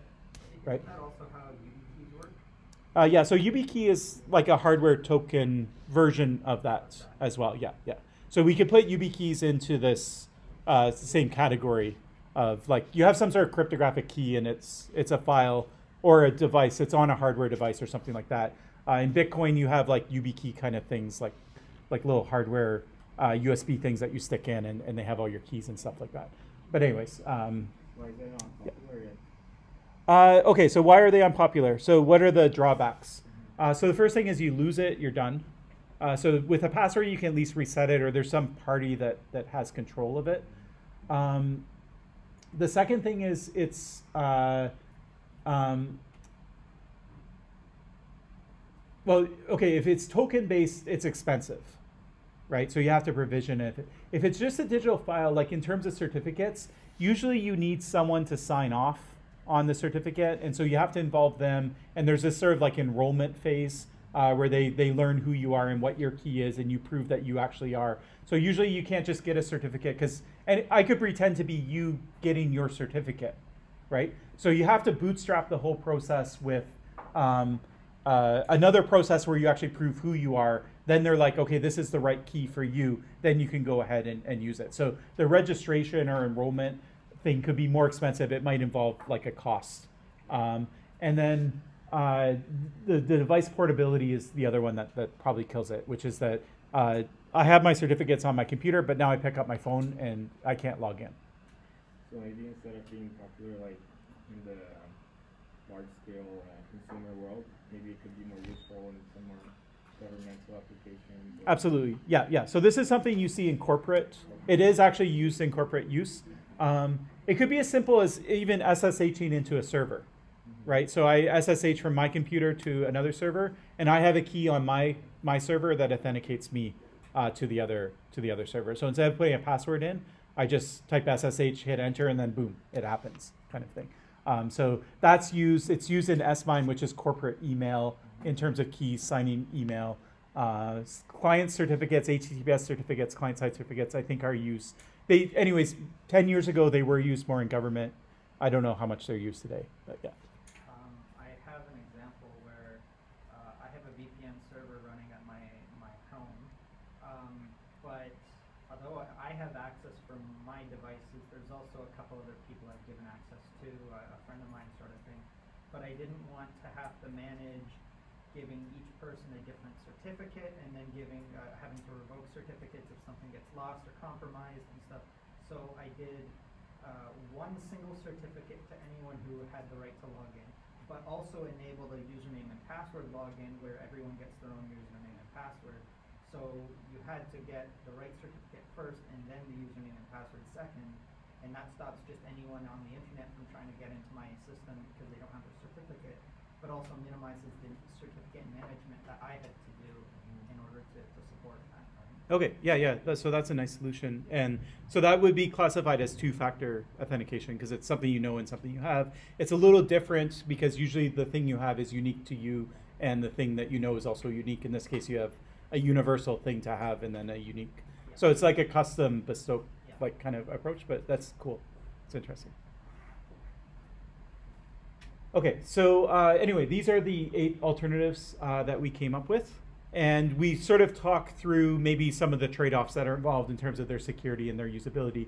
So next class, what we'll do is we'll we'll get formal with it. So we'll write down the actual properties where we think that there's differences uh, between these in terms of security, usability, costs, uh, whatever, privacy, uh, and then we'll try and put it together in an evaluation framework. And then, like I said, I'll show you an, an actual example of what it might look like if you spent three months doing this project instead of uh, spending one lecture doing it.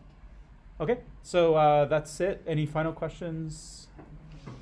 Okay, so I'll see you all next week. Hopefully, we'll have the full text setup working.